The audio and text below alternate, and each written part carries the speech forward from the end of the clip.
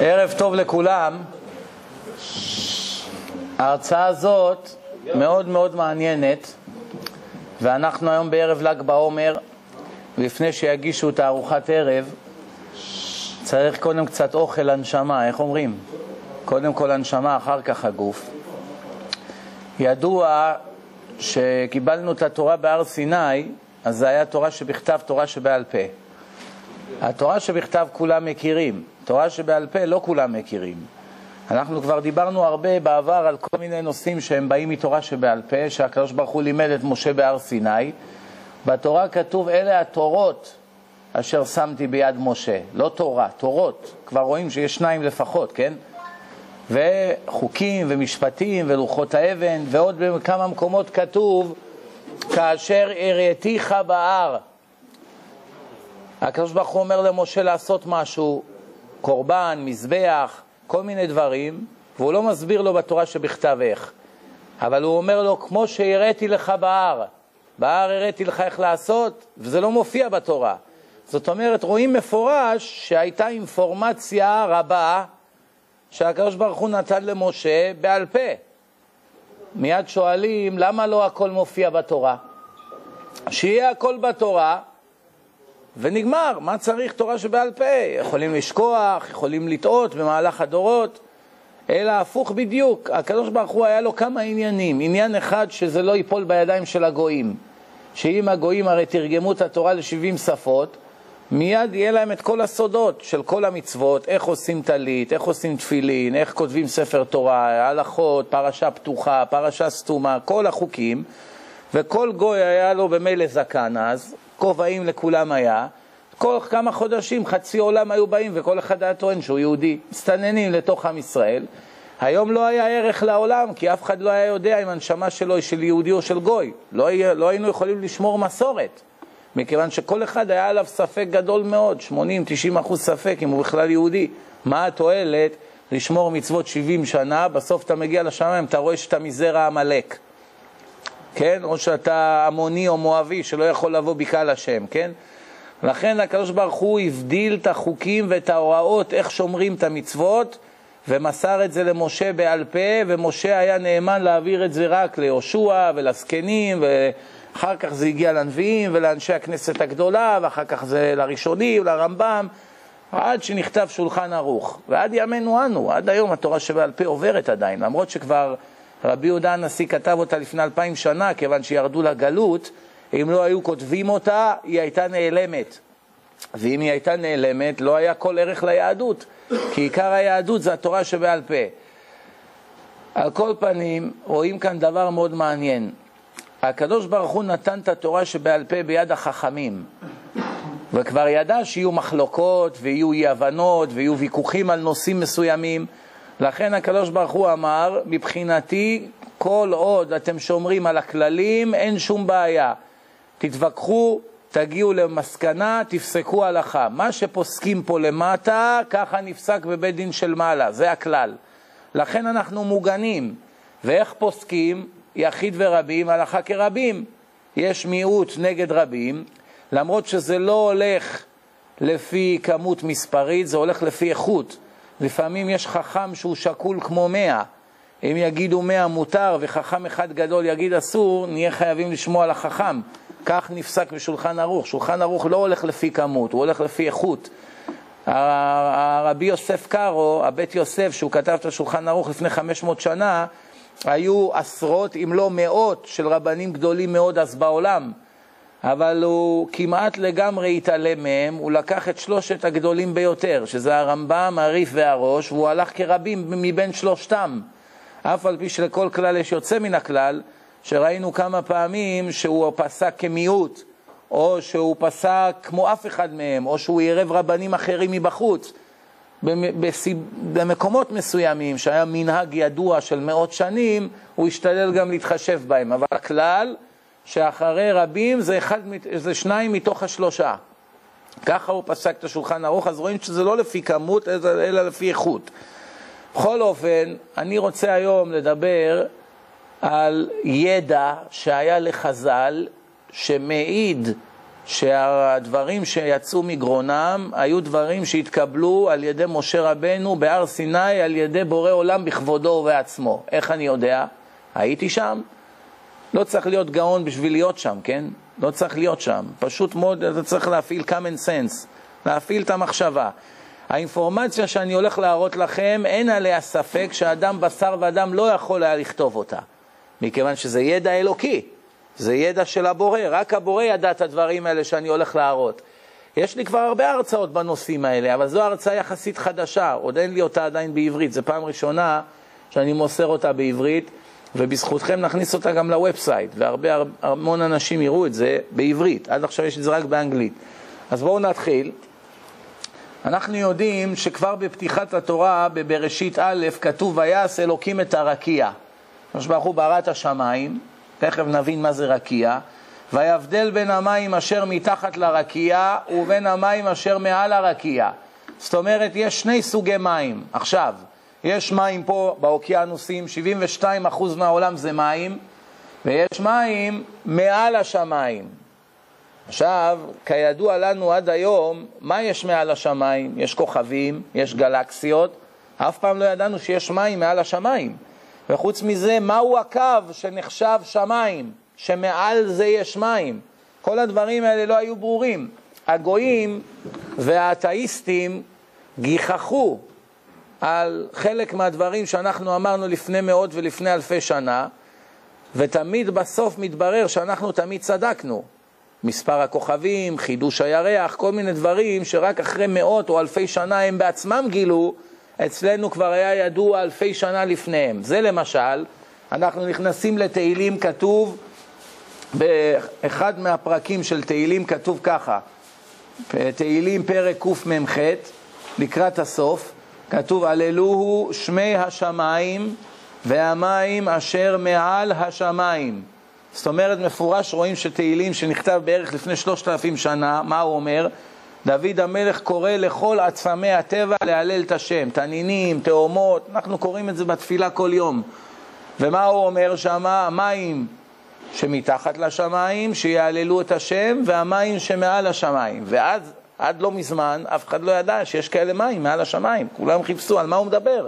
יש חלל, חלל וכוכבים. איפה יש מים מעל השמיים? בואו נראה מה חז"ל אומרים. זה נכתב לפני כאלפיים שנה. המים העליונים עומדים במאמר. מה זה מאמר? שהקדוש ברוך הוא אמר והיה העולם.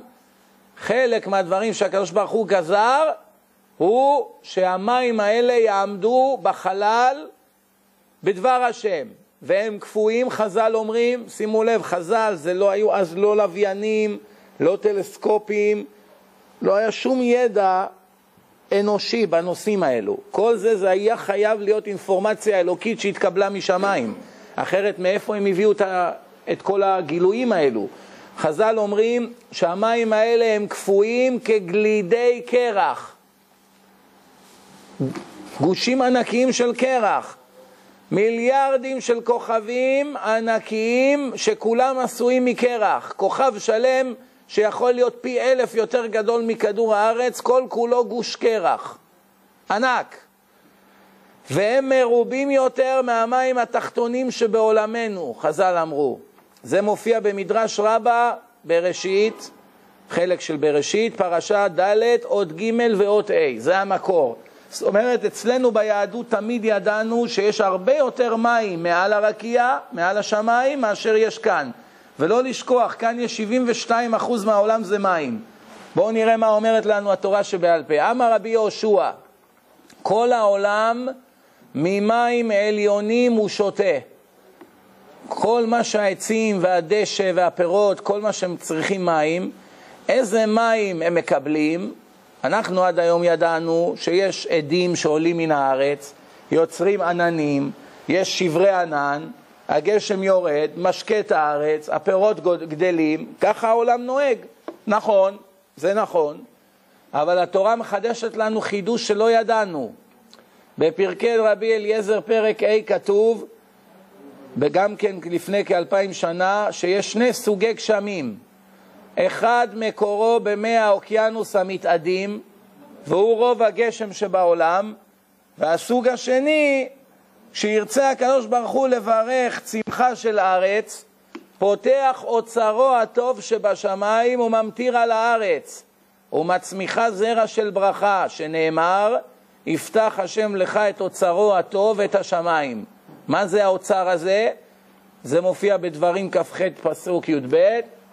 הקדוש ברוך הוא שולח לנו מים ממקור שהוא לא עננים, מחוץ לחלל, והמים האלה מגיעים כאן לכדור הארץ, איך שהם נכנסים לכוכב שלנו, לאטמוספירה, האטמוספירה מפוצצת את הגושי קרח הענקיים האלה למיליארדים של רסיסים, והם נופלים עלינו כמו אבנים. אבל עד שהם מגיעים לארץ, מהחום שלנו, גם כן הם נמסים, ויורד עלינו גשם שמתפזר על כל השדות וכל העצים, והגשם הזה יש בו הרבה יותר ברכה מהגשם שיורד מהעננים של הכוכב הזה. זה לא ידענו. בואו נראה דבר מעניין. בשעות הבוקר של ה-30 ביוני 1908 אירעה התפוצצות אדירה באזור טונגוסקה שבמרכז סיביר. מטאור קרח במשקל 30 אלף טון, 30 אלף טון, פגע בכדור הארץ. עקב כך השתחררה אנרגיה השווה לפצצה גרעינית בעוצמה של 12 מגה-טון, שזה 12 מיליון טון של חומר נפץ.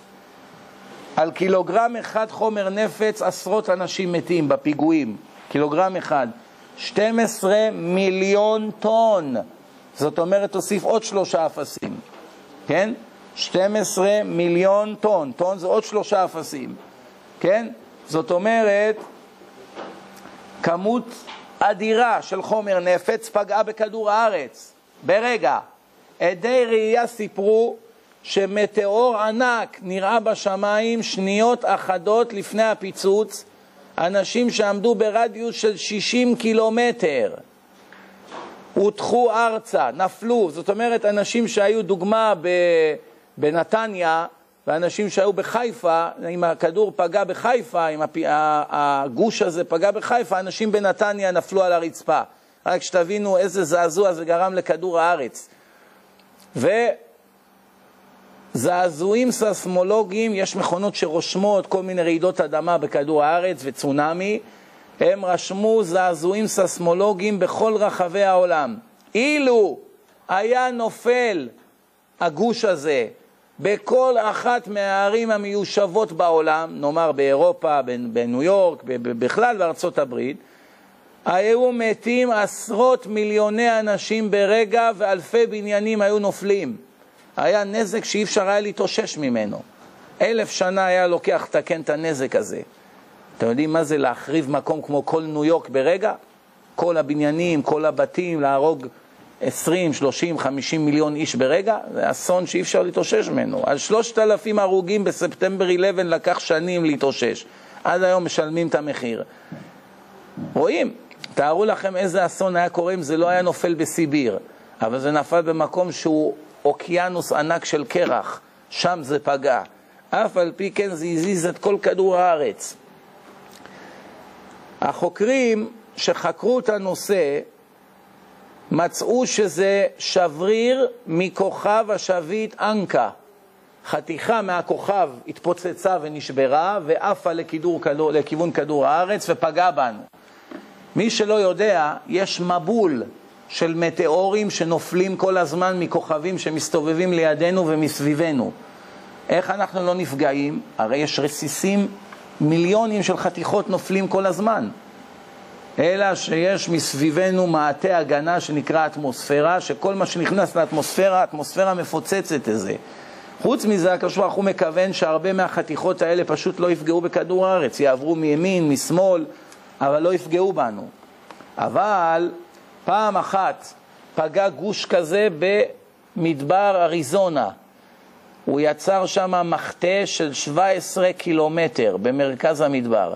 שוב, או אף על פי שזו חתיכה הרבה יותר קטנה ממה שנפל בסיביר לפני מאה שנה, כן?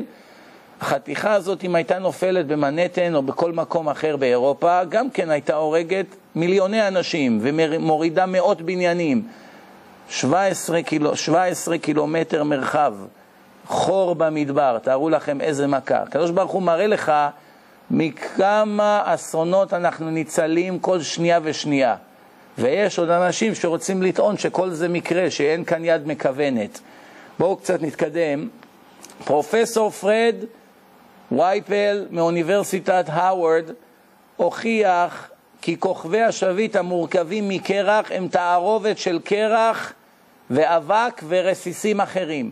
כמעט ואין שם חומר, יש שם מים שהם קפואים, יש אבק וכל מיני רסיסים של מתכות אולי, של אבנים, רסיסים מחומרים אחרים. תערובת. כוכב שביט קטן מכיל כמיליארד טון קרח. מיליארד טון קרח. טון זה אלף קילוגרם, כן? 2,200 פאונד, כן? ואילו כוכב שביט גדול מכיל אלף מיליארד טון קרח. זאת אומרת, כוכב אחד, כוכב אחד הכי קטן, כבר יש בו מים יותר מכל כדור הארץ.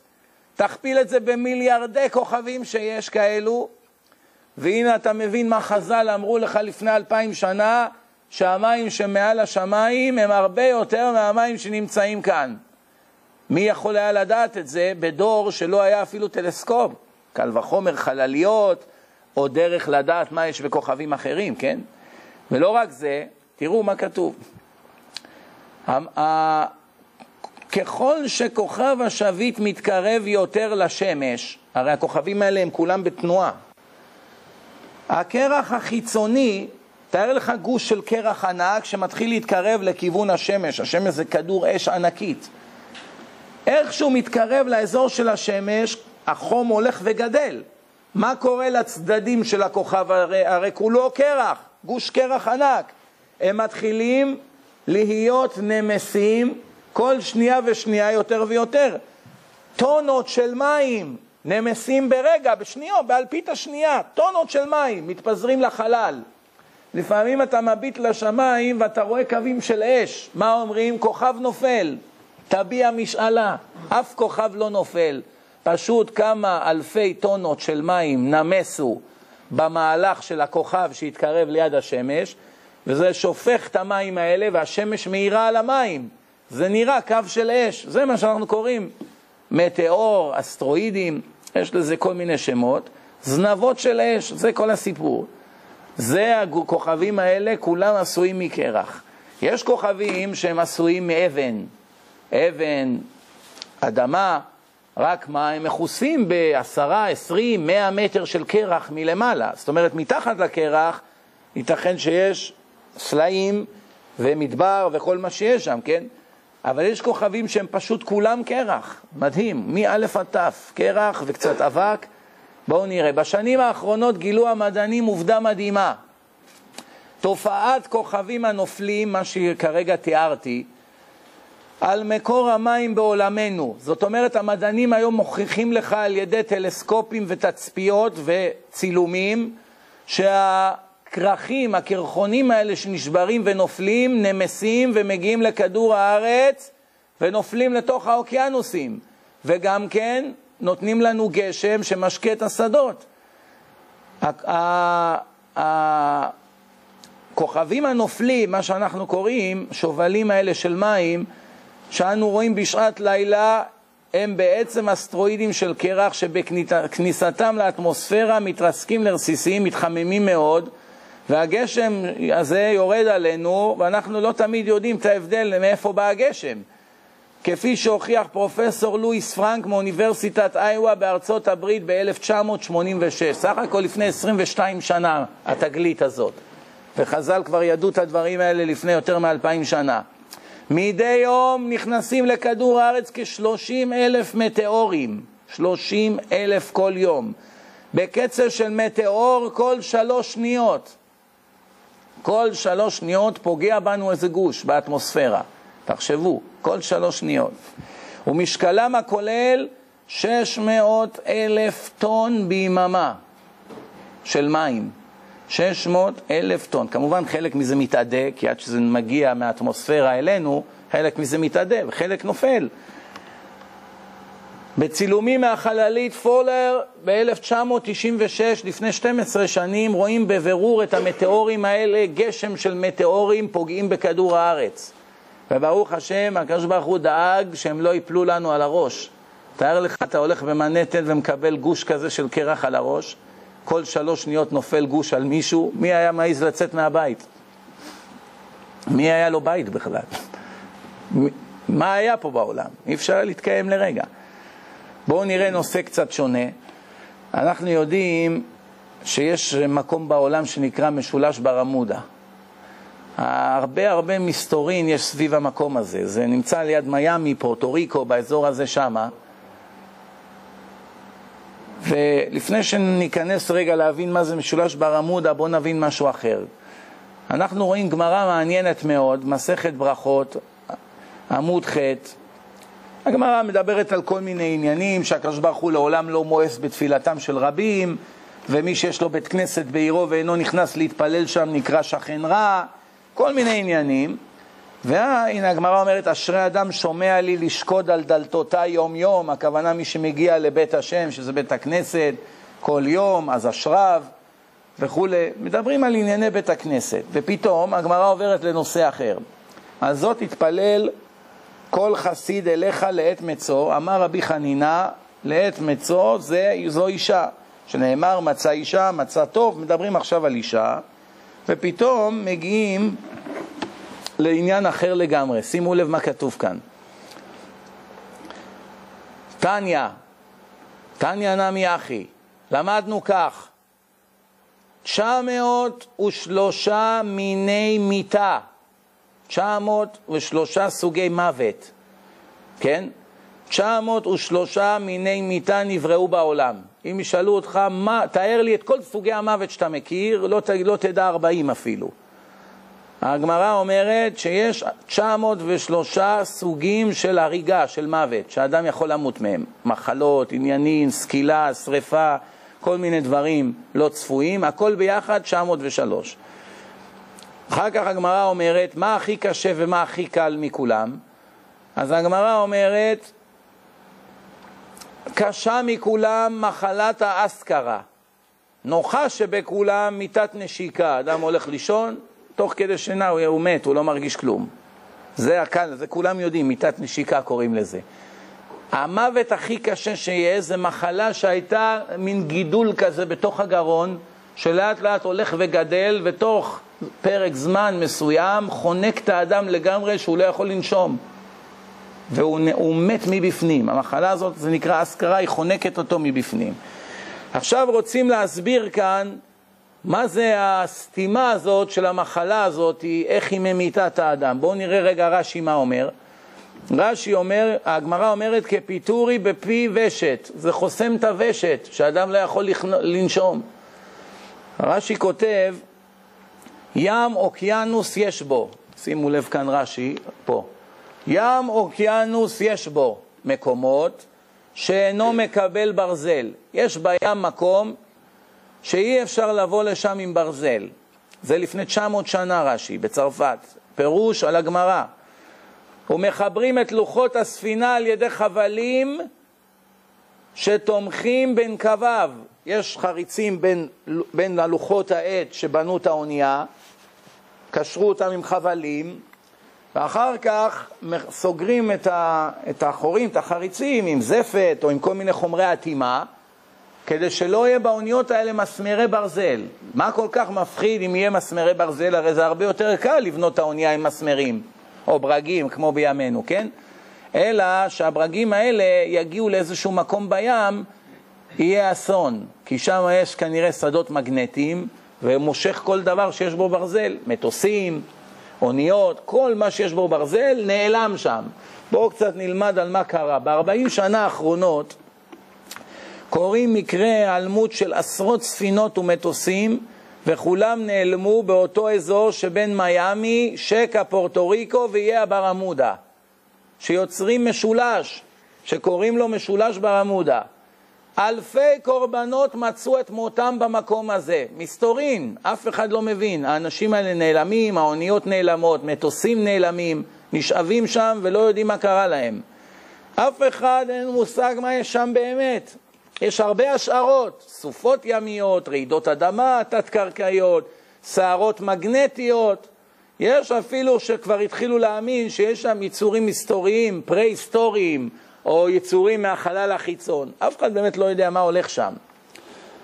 אבל לאחרונה, גדולי החוקרים והמדענים בעולם התחילו להגיע לאחר מחקר כביר על ידי גילוי המד... גילויי המדע החדישים שמדובר במשיכה מגנטית. עשו ניסויים וראו שיש שם משיכה מגנטית בקרקעית הים, ולכן כל מה שעובר שם שעשוי ממתכת ברזל היא נשאבת פנימה. תופעה זו כבר הייתה ידועה לנו ליהודים לפני אלפיים שנה. כמו שקראתי לכם, 903 סוגי מוות נבראו, הקשה מכולם היא מחלת האסקרה, אמרנו את זה, ורש"י לפי הפירוש שלו, ובואו נראה איך רש"י מסביר כאן את העניין. הוא רוצה לדמות שכמו שהגרון לאט לאט נסגר, ככה היו סוגרים את התחתית של האונייה, כן? סוגרים אותה מבפנים עד שהיא סגורה הרמטית, הוא מדמה את המחלה ואת הסתימה בגרון, את החנק, לאיך שסוגרים את קרקעית, אבל תוך כדי כך מגלה לך דבר על מקום באוקיינוס שלא יכול לקבל ברזל משולש ברמודה, כי עוד לא מצאנו מקום אחר כזה. הגמרא מדברת על רבן גמליאל שחי לפני בערך אלפיים שנה, קצת יותר.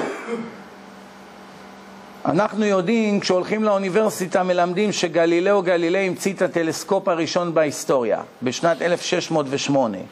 מה באמת קרה?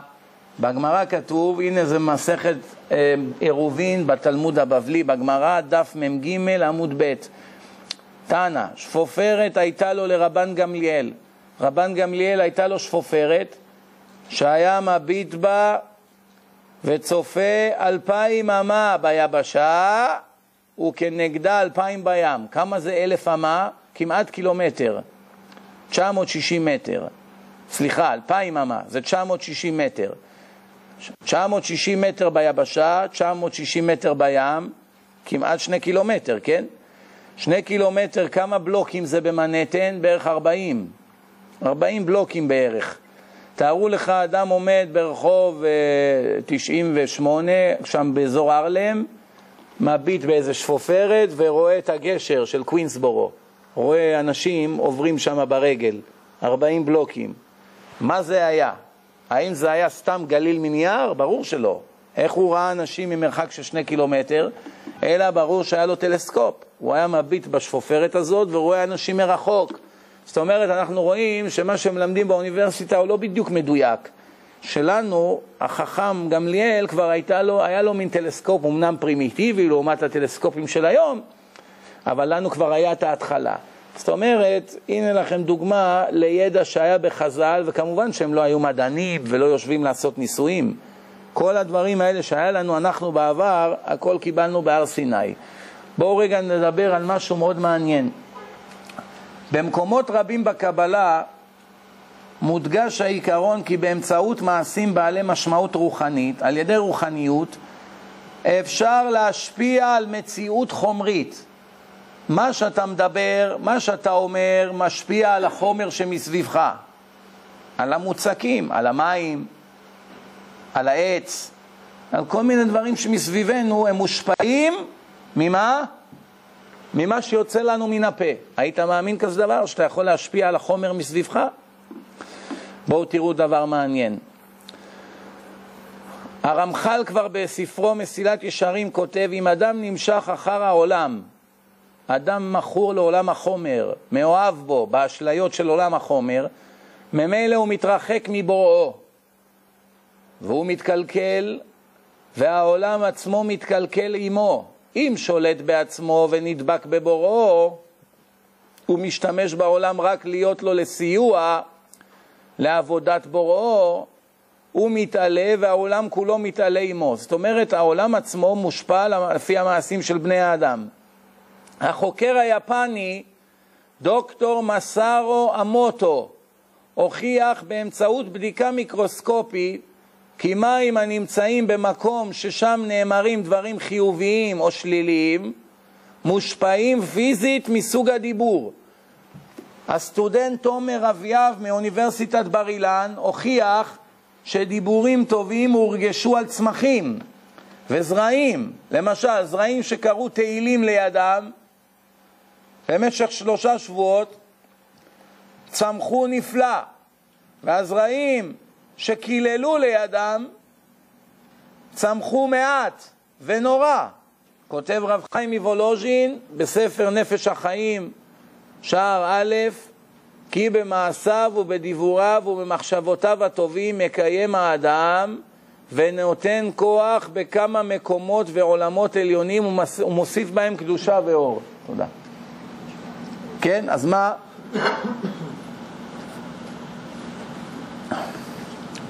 מה אנחנו רואים כאן? בואו נראה מה הפרופסור היפני גילה. שימו לב, לפניכם פה, מעל הקו אנחנו רואים טיפות מים שהוקפאו, טיפות מים, מי מעיין, לקחו אותם ממעיין, הקפיאו אותם בטמפרטורה מאוד מאוד קרה והתחילו לדבר דברים יפים לידם. ובחדר אחר דיברו כל מיני קללות ודברים גסים.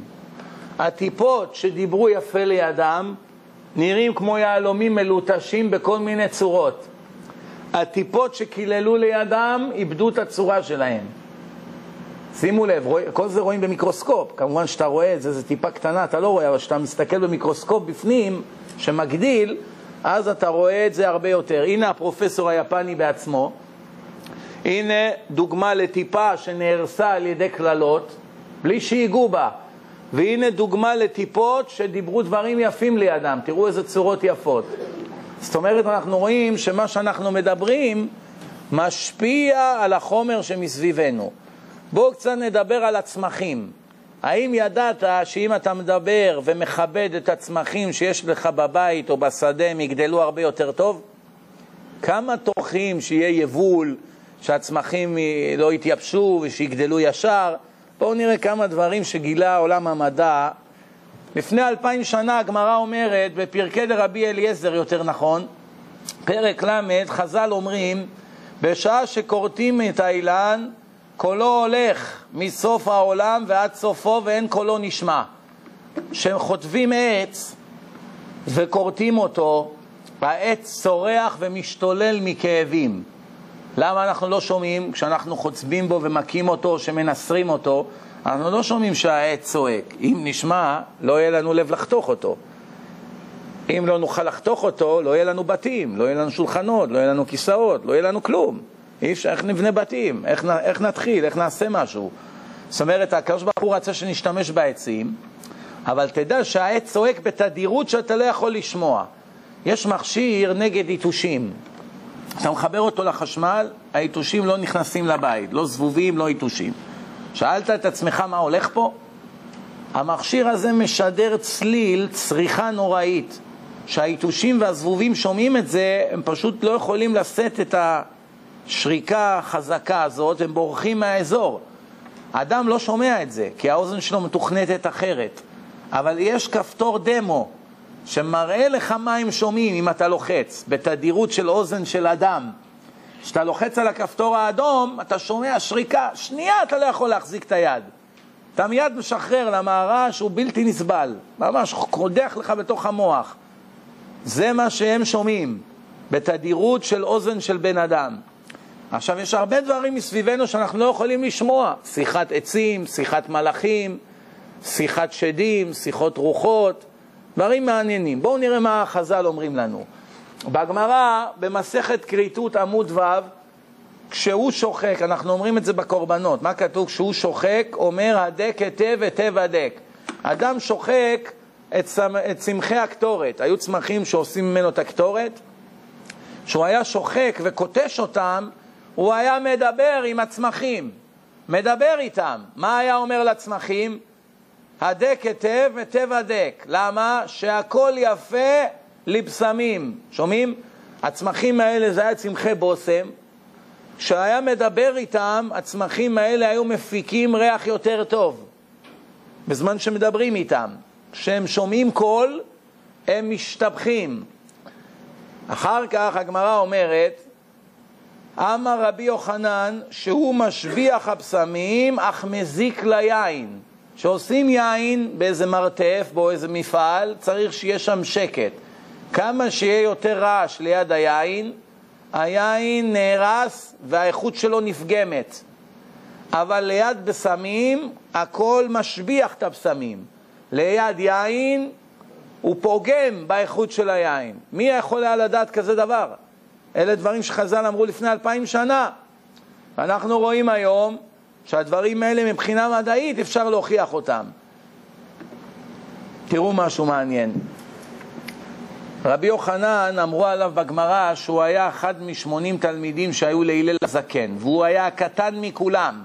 הוא ידע שיחת מלאכים, שיחת שדים, שיחת נערות, אחד, שיחת חיות, ואחד הדברים שכתוב שם, שיחת דקלים. יודע להבין מה עץ אחד אומר לחברו שעומד לידו. איך העצים מדברים? יש להם שפה שאנחנו לא יכולים לשמוע אותה. איך יודעים שהעצים מדברים? פעם היה לי איזה מדען באחד ההרצאות, אחרי שאמרתי את הדבר הזה בשם חז"ל, הוא בא אליי בסוף ההרצאה ואומר לי, אני ממש נפעם, עמום.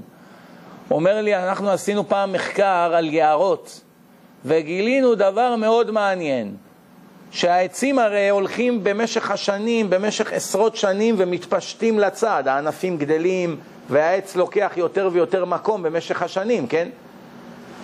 ואף פעם העצים לא פוגעים אחד בשני. אף על פי שהענפים של העץ הראשון נכנסים לחלל של העץ השני, ענף אחד בתוך השני, הם לא מתנגשים אחד בשני ופוגמים אחד בשני. הם, אם אחד זז ימינה, חברו יזוז שמאלה. לעומת זאת, אם תיטע עץ ליד בית והצד של הבית הוא מעץ, העץ שתיטע במשך השנים יתפשט ויפגע בבית וגם יעשה שם סדק. מה ההבדל? הרי זה עץ וזה עץ, אבל העץ של הבית הוא עץ מת, הוא לא יכול לדבר. שהעץ חי, הם קובעים ביניהם, אני אזוז לפה ואתה תזוז לפה. שהעץ מת, הוא לא יכול לזוז, הוא לא יכול לשלוט בכלום. יש עוד הוכחה, למשל, שגודלים, מגדלים כל מיני שתילים, יש, יש שתילים שהם מטפסים, הם צריכים לטפס על קיר או לטפס על מקל, אז מה עושים? תוקעים מקלות. והענפים האלה, הם מטפסים על המקל. עכשיו, אם אתה תשים את המקל מימין לשתיל, נאמר 20 סנטימטר, השתיל תמיד ילך לכיוון המקל.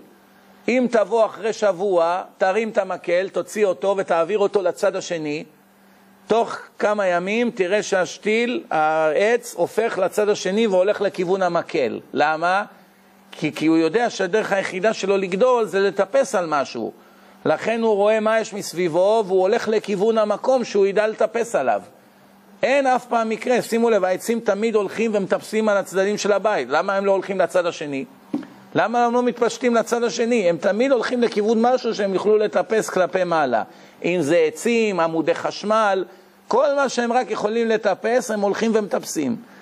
לא סתם נאמר כי האדם עץ השדה, לעץ יש תכונות שמאוד מזכירות את האדם, בני האדם. מאוד מעניין. בשנים האחרונות הולך ומתפרסם בקרב קהילת המדענים בכל רחבי העולם מחקר עולמי מרתק.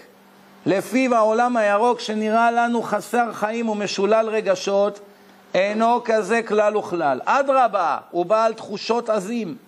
יודע לבטא רגשותיו, יש לעצים רגשות, כגון כאב, פחד, עושר. התיאור המרתק הזה מופיע בירחון המדעי הבריטי רב היוקרה Nature. מחקריו של צ'נדרה בוסה, מדען בעל שם עולמי שחקר את תגובות הפיזיקליות של הצמחים במעבדה ליד עמק מיידה, הוא כותב, מוטל לו גזר, בבשרו נעוצים שני חוטי חשמל. כאשר צובטים את הגזר באמצעות מלקחיים, מיד נרתע הגזר מרוב כאבים וצורח, מרוב ייסורים. קולו מבטא זעזוע אין קץ. הוא מחובר למערכת חשמלית בצורה כזאת שהשדר החשמלי של הכאב דוחף זרוע של מנוף שמפעיל ראי ששולח אלומת אור על הקיר בקצה השני של החדר. כל פעם שצובטים את הגזר נדלק אור על הקיר ממול. למה? האנרגיה שנוצרת מהצריכות של הגזר גורמות שהמנורה הזאת תדלק ותאיר על הצד השני של הקיר. זאת אומרת, אנחנו רואים שהירק מגיב בזמן שאתה שורף אותו, מבשל אותו, חותך אותו, הוא ממש צועק ומשתולל מכאבים, רק אנחנו לא שומעים את זה. אף פעם לא יכולנו לחלום כאלה דברים. הוא מביא דוגמה לכרוב שבישלו אותו והרתיחו אותו במים, איך הכרוב היה צורח ומתכווץ וסובל מכאבים. גם הרוסים, בלי, בלי קשר לצ'נדרה ביסה, בלי קשר למדען הזה, גם הרוסים פרסמו מחקר בעיתון פראבדה, שזה עיתון אה, רב יוקרה, לפני עשרים שנה, בכותרת ענק. צמחים מדברים, כן, הם צועקים. בביקור במעמדה לאקלים מלכותי באקדמיה המוסקבאית המפורסמת למדעי החקלאות, נווט של שעורה, שורשיו הוטבלו במים רותחים, צבח פשוטו כמשמעו, צורח, כן? קולו של הצמח נרשם על ידי מכשיר אלקטרוני רגיש, כמי שנטרפה עליו דעתו, והעט של המכשיר, כמו בפוליגרף, משרבט על נייר את ייסורי המוות שלו. הניסויים הרוסים העידו כי צמחים קולטים אותות ומשדרים אותם. אתה שולח לצמח אות, הוא קולט אותו ומשדר אותו הלאה. זאת אומרת, יש תקשורת. זה דבר מאוד מעניין. המומחה, מומחה פוליגרף, פוליגרף זה מכונת אמת, מומחה פוליגרף אמריקאי, מתוך שעמום, יום אחד הוא יושב במשרד, משעמם לו, הוא חיבר אלקטרודות של הפוליגרף לעלים של צמח שגדל במשרדו. למרבה ההפתעה, הצמח הגיב. המומחה המופתע רצה לקבל תגובה חזקה יותר, הוא החליט לשרוף את העלה. הוציא, אה, הוציא מצית והדליק את העלה. עוד לפני שעשה תנועה כלשהי, זינקה המחט באופן דרמטי כלפי מעלה. הוא נלחץ, הוא יודע שהוא מקרב את המצית לשרוף אותו, עוד לפני שנגע בו הוא כבר מתחיל להשתולל.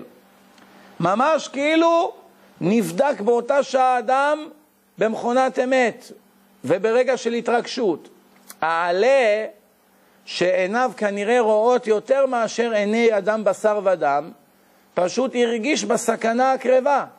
המומחה האמריקאי זנח את כל עיסוקיו והתמסר לחקור את סגולותיהם המופלאות של הצמחים.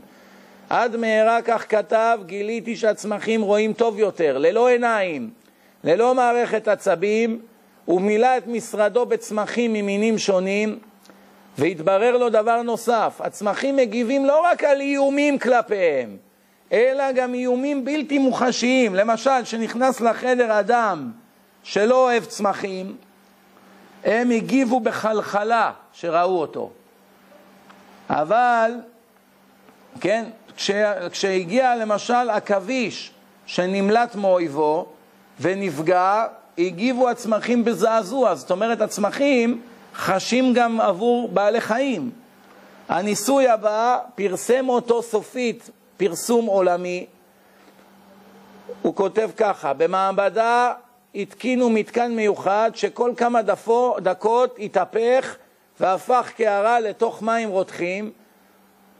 המכשיר קבע מתי יהיו בקערה דגים ומתי יהיו בה מים. לקחו שלושה צמחים מסוג פילודרונון, שחיברו אותם לגלבנומטר, שזה מכשיר למדידת זרמים חשמליים זעירים. כל פעם שהדגים הושלכו למים רותחים, כל הצמחים שהיו בחדר התחילו לצרוח. והמכשיר התחיל למדוד מדידות שהם משתוללים. עולם המדעי נתפס להתרגשות. שבעת אלפים מדענים ביקשו תדפיס של המחקר. שבעת אלפים מדענים בעולם. בואו נראה מה חז"ל אמרו על הדברים האלה לפני אלפיים שנה. הרי אותנו לא כל כך מעניין מה אנחנו מגלים היום, כי אנחנו כבר אה, רגילים לכל מיני תגליות, אבל מה שמעניין כאן זה שבעולם פרימיטיבי שלא היה את הכלים של היום, אתה רואה שחז"ל ידעו את הדברים האלה והם בעצמם אומרים שקיבלו את זה מהבורא. הנה נראה, חז"ל אומרים זה מופיע בגמרא ככה: מעשה בתמרה אחת, עץ תמר, כן? שהייתה עומדת בחמתן, חמתם זה היה שם של מקום בזמנם, ולא הייתה עושה פירות. לא היו גודלים תמרים על העץ הזה. והיו מרכיבים אותה, אתם יודעים, היו עושים הרכבות כדי לשבח את זה, ולא הייתה מגדלת פירות. אמר להם רבי תנחומה, דקלה תמרה היא רואה מיריחו, והיא מתאווה לה בליבה. העץ הזה מאוהב בעץ אחר ביריחו.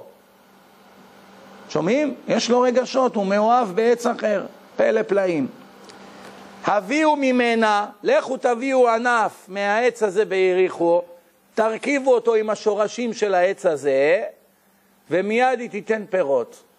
הלכו, הביאו מהעץ הזה ביריחו, שהעץ הזה מחמתן הייתה משקיפה, העץ של חמתן משקיף על העץ של יריחו. הלכו, הביאו מיריחו עץ, עשו הרכבה בשורשים, והביאה, ומיד עשתה פירות. זה מופיע במדרש רבה במדבר ג', המעשה הזה שהיה. חז"ל מביאים את זה. צמח שמטפס, כמו שאמרתי, תמיד זוכה למוט הקרוב ביותר שבסביבה שלו. אם יש כמה מוטות, הוא לא ילך סתם לכיוון אחד מהם, לזה שהכי קרוב, כי הוא כבר משתוקק להמריא מעלה. רואים שהצמחים האלה יש להם עיניים, יש להם רגשות, יש להם ידע ותכונות לא פחות מאיתנו. בספר ישעיה לפני 2600 שנה כתוב היושב על חוג הארץ ויושביה כחגבים. זאת אומרת, כבר הנביא לפני 2600 שנה, הרבה לפני קולומבוס. בתקופת קולומבוס, לפני 500 שנה, העולם הפסיק להתווכח אם כדור הארץ הוא עגול או ישר. כולם התווכחו, חלק אמרו כדור הארץ עגול, חלק אמרו הוא פלטה, ישר. יום אחד נמצא את הסוף שלו, נגיע וניפול לחלל. ככה חשבו. אבל הנה כבר 2,100 שנים לפני קולומבוס, הנביא ישעיה כתב בספרו פסוק מפורש: היושב על חוג הארץ ויושביה כחגבים. רש"י מסביר לפני 900 שנה, רש"י בעצמו הוא 400 שנה לפני קולומבוס. רש"י מסביר חוג לשון מחוגה, עוגל. רש"י כותב מפורש, כדור הארץ עגול. נתקדם הלאה. כדור הארץ מסתובב סביב צירו במהירות של 1,700 קילומטר לשעה. 1,700 קילומטר לשעה הכדור עושה. מהירות זו קובעת שיום ולילה יהיה 24 שעות, כן? 12 שעות יום, 12 שעות לילה. מה היה קורה אם מהירות כדור הארץ במקום 1,700 קילומטר לשעה היה רק 170 קילומטר לשעה, פי עשר פחות. היום היה 120 שעות והלילה היה 120 שעות, כי הכל היה מסתובב מאוד לאט. השמש עומדת בצד אחד. עד שנגיע לצד של השמש ייקח 120 שעות, כי הכדור מסתובב מאוד לאט.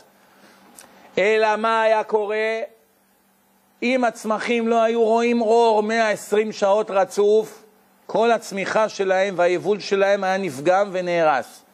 ואם היה עליהם שמש 120 שעות רצוף, הכל היה נשרף. אי אפשר היה לחיות כאן, לא לגדל חיטה, לא אורז, לא תפוזים, לא כלום. אז ממילא איך, איך, איך, ייתכן פה חיים? כמה צריך כדי שיהיה פה חיים?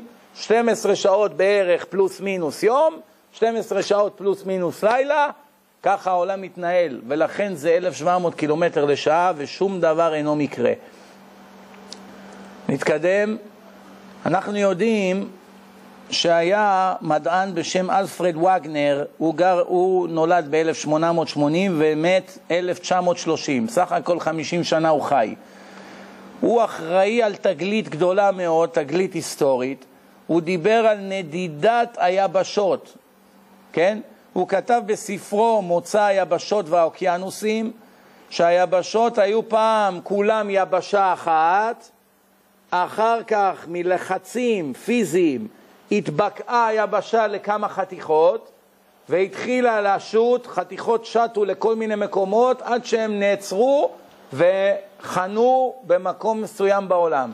לכן אנחנו רואים היום שבע יבשות במקומות שונים, יבשת אמריקה, אסיה, אפריקה וכולי, כל היבשות האלה בעצם פעם היו גוש אחד.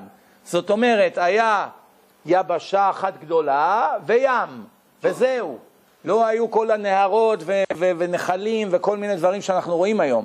ברגע שהייתה התפוצצות והם נשברו לכמה חתיכות, המים נכנסו בין יבשת ליבשת, וככה העולם קיבל צורה חדשה. זה דרך אגב ההסבר למה לא מוצאים את התיאור שמופיע בספר בראשית. כתוב בספר בראשית, בראשית ברא אלוקים את האדם, עפר מן האדמה, והיפח באפיו נשמת חיים, ויהי האדם לנפש חיה, אחר כך כתוב והייתה גן אה, בגן עדן מקדם, וכל מיני כאלה דברים שכתובים שם, ואז מסבירים שם את מבנה הנהרות. נהר שהולך מכאן ועד לכאן, הוא מתפצל לשני ראשים, והולך לכאן, ולא רואים את זה היום בעולם. התיאור הזה של הנהר, איך שהקדוש ברוך הוא ברא, השתבש בפיצוץ הגדול שהזיז את כל היבשות. בואו נראה מה חז"ל גילו לנו. על בראשית א', ויאמר אלוקים, ייקבעו המים מתחת, מתחת השמיים אל מקום אחד. כל המים יאספו למקום אחד.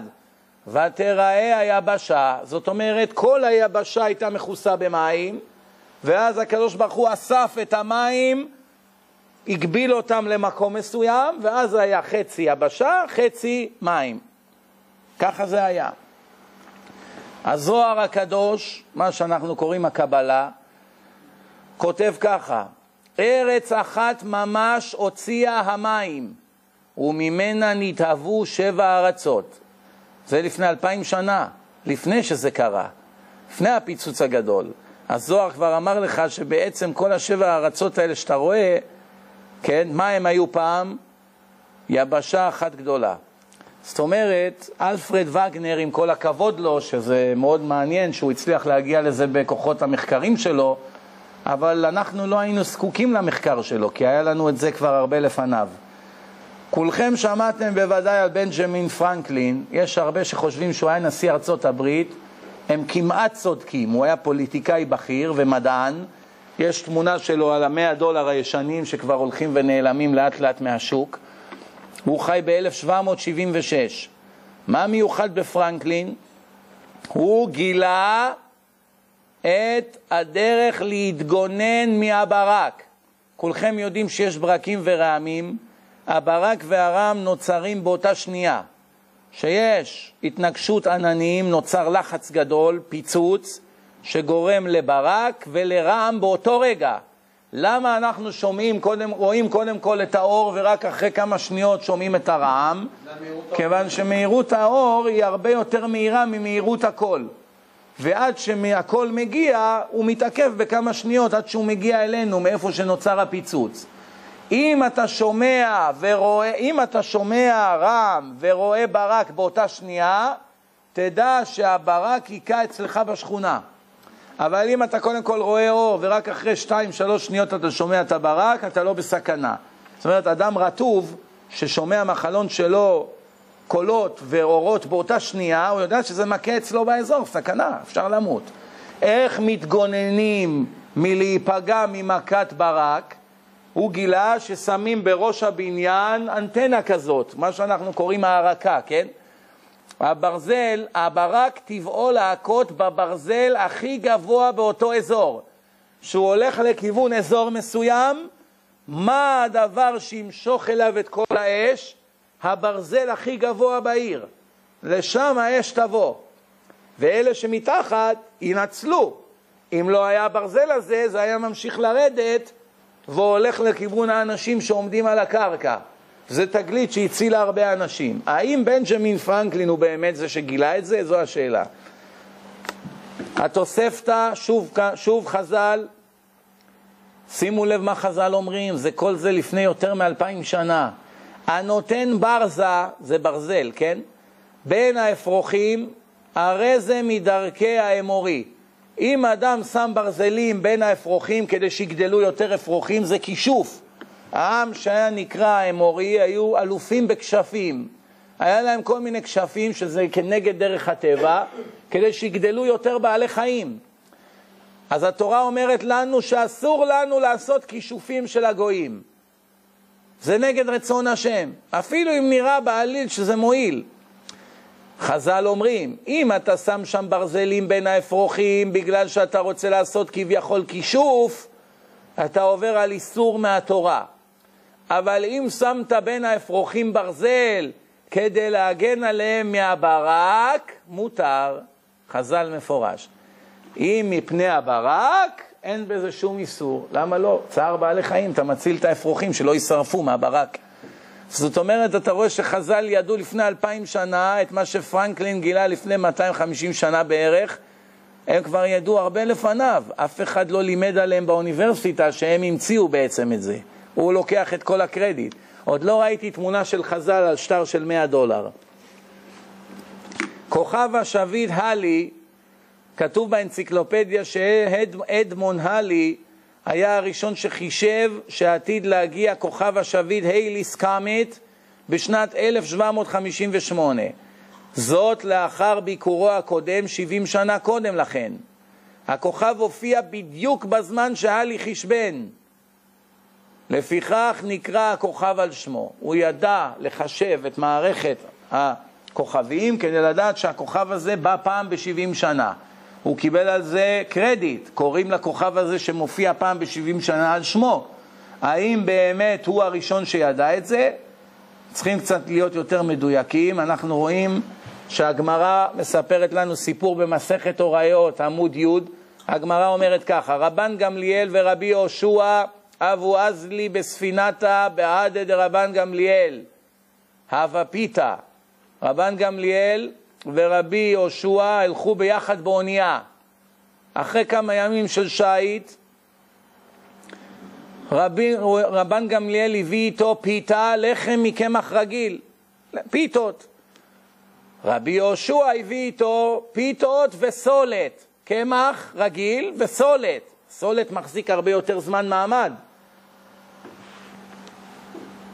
שאלים פיתה דרבן גמליאל, נגמר האוכל של רבן גמליאל, הפיתות שלו, סמך הסולתא דרבי יהושע, סמך על הסולת שרבי יהושע הביא, כדי שלא יגבהו ברעב.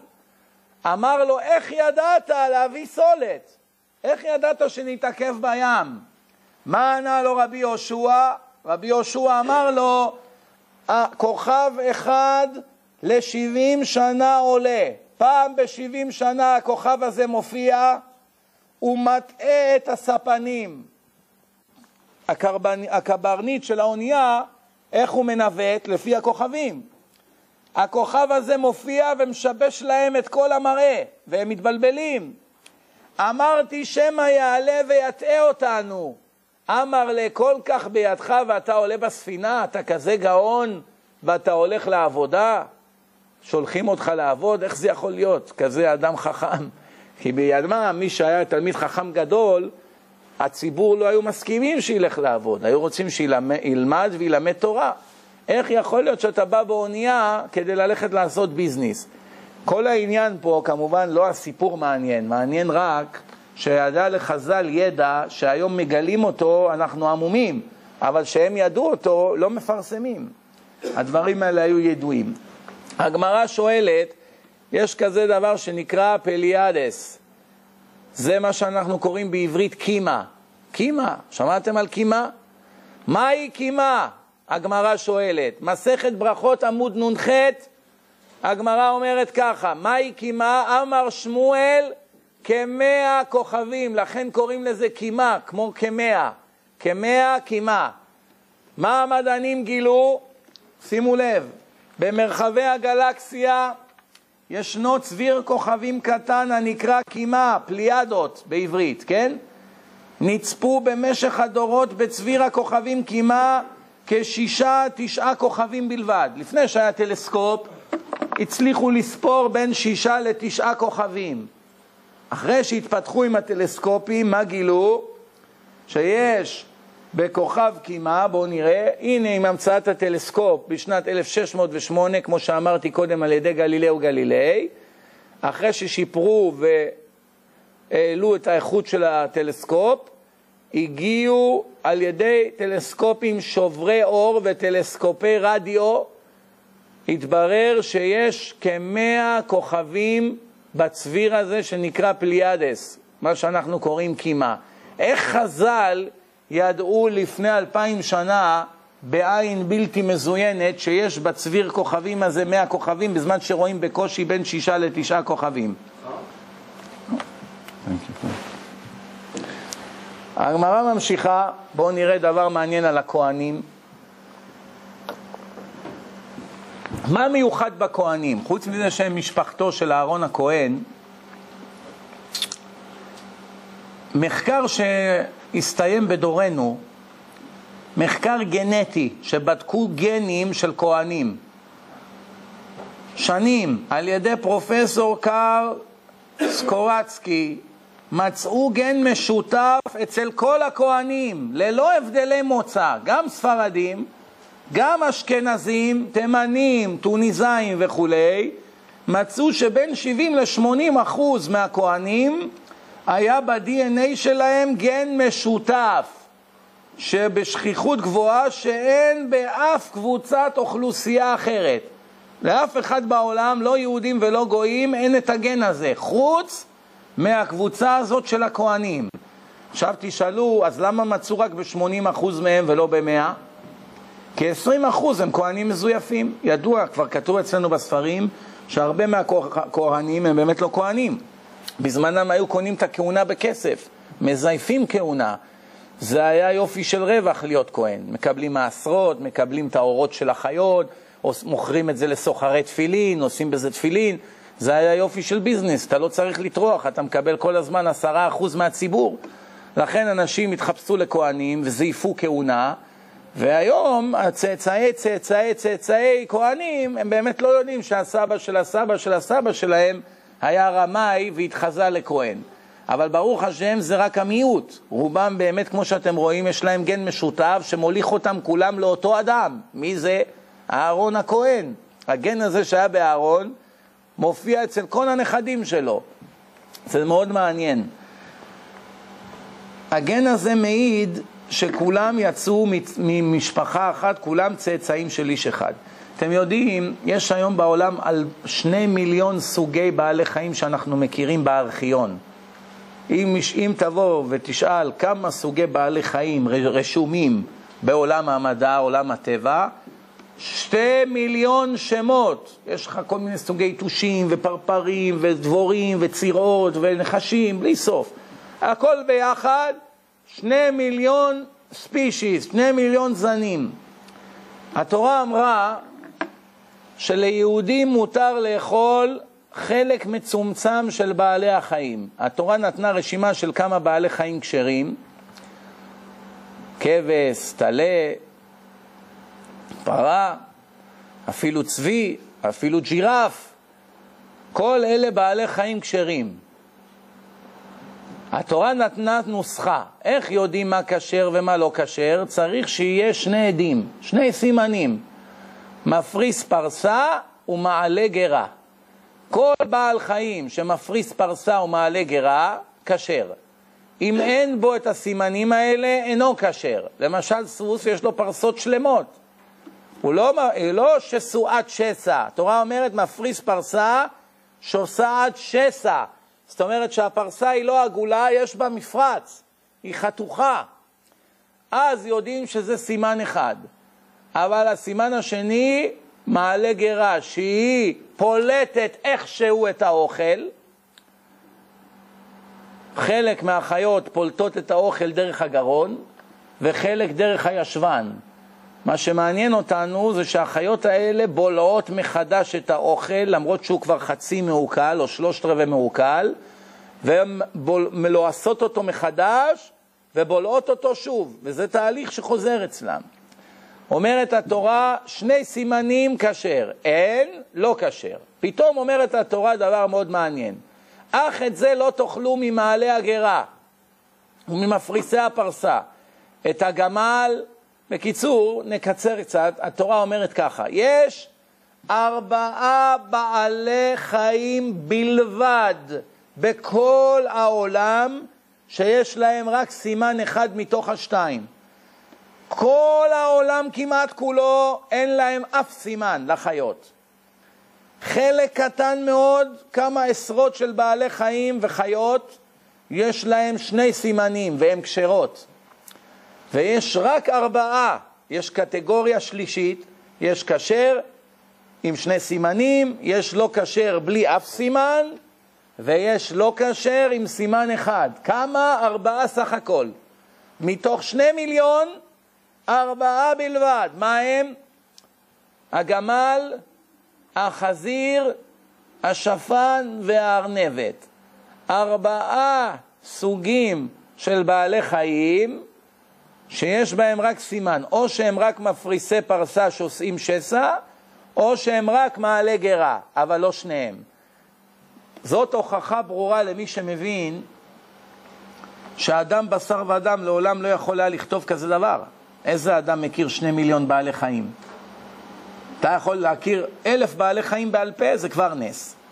שני מיליון בעלי חיים, להכיר את כולם ולכתוב בספר שאתה טוען שאלוקים נתן לך אותו, שיש רק ארבעה מהם שהם יוצאי דופן, עם סימן אחד. זאת אומרת, אם היה בא מישהו במהלך הדורות ומביא סוג חמישי של בעל חיים שיש לו, יותר, שיש לו רק סימן אחד, למשל היום מביאים מאיזה, מאיזה ג'ונגל, מאיזה יער, עוד איזה חיה שלא ידענו עליה, ומראים שיש לה פרסה שהיא שוסעת שסע ואינה מעלה גרה, גרה, או הפוך, שהיא מעלה גרה אבל אין לה שסע בפרסות, כל העולם, כל העולם היהודי היה מתרסק מבחינה רוחנית. למה?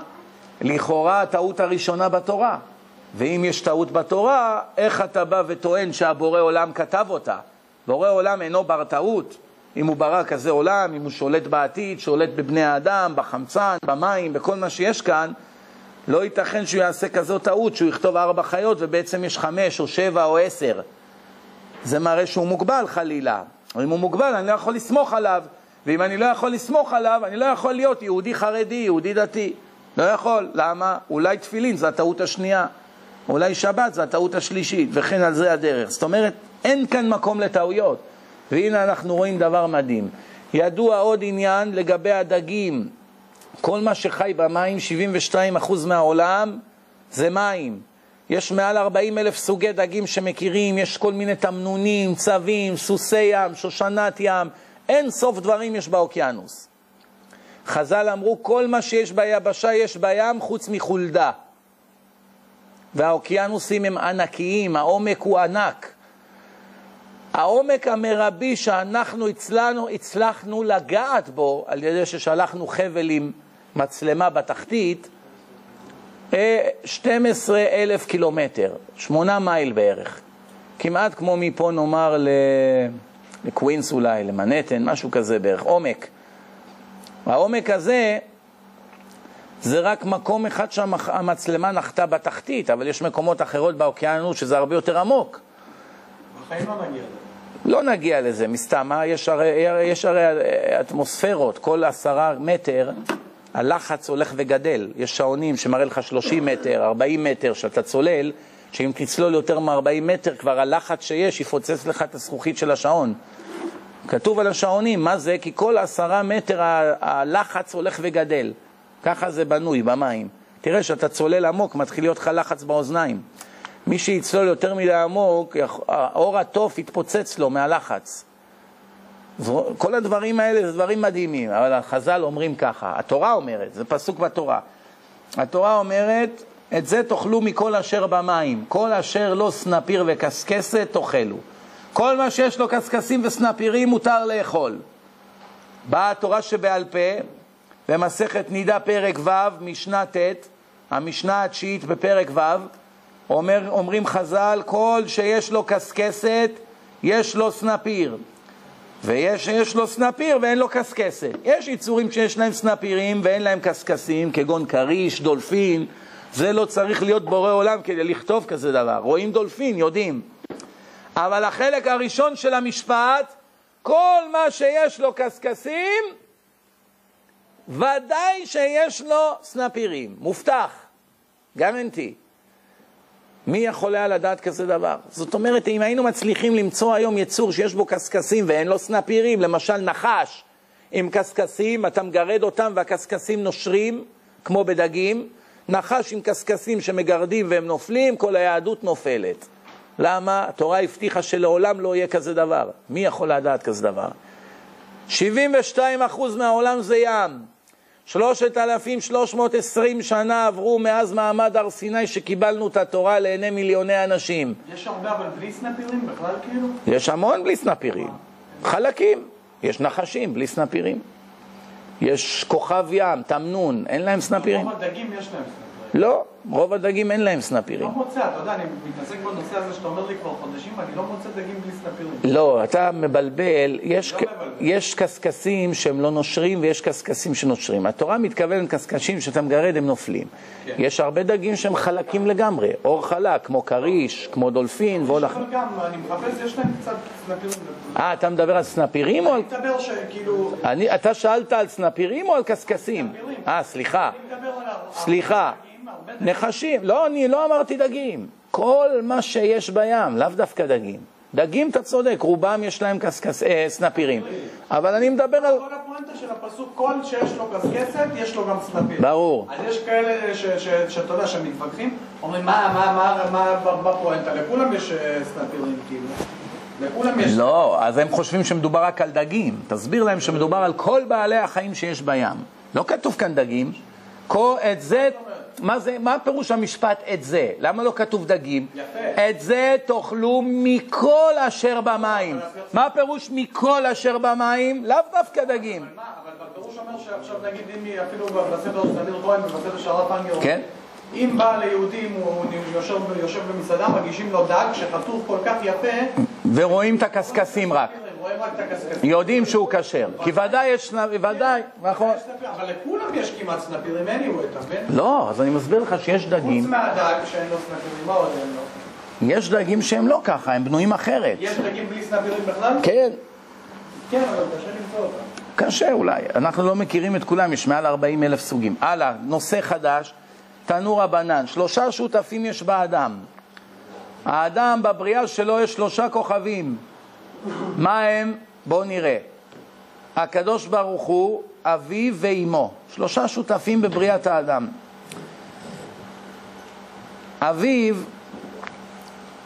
מזריע הלובן שממנו העצמות והגידים והציפורניים ומוח שבראשו ולובן שבעין זאת אומרת מהחומר שהאבא תורם לבריאת הבן נוצרים העצמות, הגידים, הציפורניים, המוח, הלבן שבעיניים האימא מזרעת אודם, החלק של האימא בתוך יצירת העובר נוצר מהחלק שלה האור, הבשר, השערות, האישונים שבעיניים, והקדוש ברוך הוא נותן בו רוח, נשמה, קלסתר פנים, צורת הפנים, כן? ראיית העין, היכולת לראות, שמיעת האוזן, היכולת לשמוע, היכולת לדבר, היכולת ללכת ברגליים, בינה, שכל, כן? מה שאנחנו קוראים חוכמה ובינה, בינה זה היכולת להבין דבר מתוך דבר. כיוון שהגיע זמנו להיפטר מן העולם, הקדוש ברוך הוא נוטל את חלקו, וחלק אביו ואימו מניח לפניהם. בא הקדוש ברוך הוא, לוקח את מה שהוא תרם לחיי האדם, וזה כל הרשימה שמניתי, היכולת ללכת, היכולת לראות, לשמוע, ושכל ובינה וזיכרון, כל הדברים האלה. הקדוש ברוך הוא הוציא את זה מהתערובת, ונשארנו עם כל החלקים הפיזיים שלא יכולים לזוז. אוזן אבל היא לא שומעת, עין אבל היא לא רואה, אור לא מרגיש כלום. הנשמה יצאה. זה חיים ומוות. ידוע כבר בבראשית כתוב, ויצר השם אלוקים את האדם עפר מן האדמה, כל גופו הוא פיזי, ויפח באפיו, בנחיריים, נשמת חיים, ויהיה האדם לנפש חיה. האדם התחיל ללכת אחרי שנכנסה הנשמה. ואיך זה המוות? בספר קהלת כתוב, הקדוש ברוך הוא, הנשמה תשוב לבעליה כי הוא נתנה. הקדוש ברוך הוא נתן את הנשמה ולקח אותה, אז היא יצאה חזרה ועלתה למעלה, והגוף ישוב לעפר כי ממנו לוקח. כי הגוף בא מהעפר, אז הגוף חוזר לעפר, כמו שאנחנו יודעים בקבורה. זאת אינפורמציה במסכת נידה, עמוד ל"א. מאיזה יום בהיריון העובר נחשב לבן אדם לכל דבר? מהרגע הראשון, אחרי שלושה חודשים, אחרי תשעה חודשים, אחרי שהוא יוצא לאוויר העולם, מתי מחשיבים את העובר אדם? למה זה כל כך משנה? כדי שנדע ממתי אתה חייב על רצח.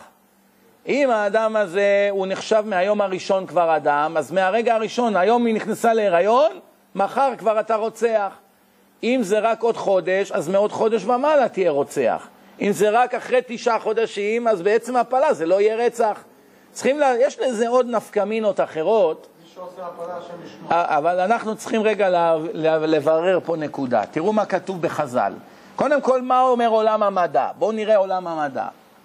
אין אנו יודעים די על התפתחות מוחו של העובר. למעשה נוכל לבחור כל תאריך למין היום הארבעים בערך, אשר בו מסתמן המבנה הבסיסי של, של המוח, וניתן להבחין בפעולות מעטה של גלים. על ידי חישובים ומדידות רואים שמהיום הארבעים והלאה מתחילים, לי, מתחילים להיות גלים במוח. ככה הם כותבים המדענים. איפה זה מופיע? פרופסור דיוויד ליגר, בספר שנקרא המשחקים בחיים, בהוצאת מסדה, נכתב ב-1983, עמוד 43. אתם רוצים לחפש את המקור? משם קראתי. הנה לפניכם תמונות של העובר בגילאים שונים בזמן ההיריון. הריון ממוצע הוא 271 יום, תשעה חודשים.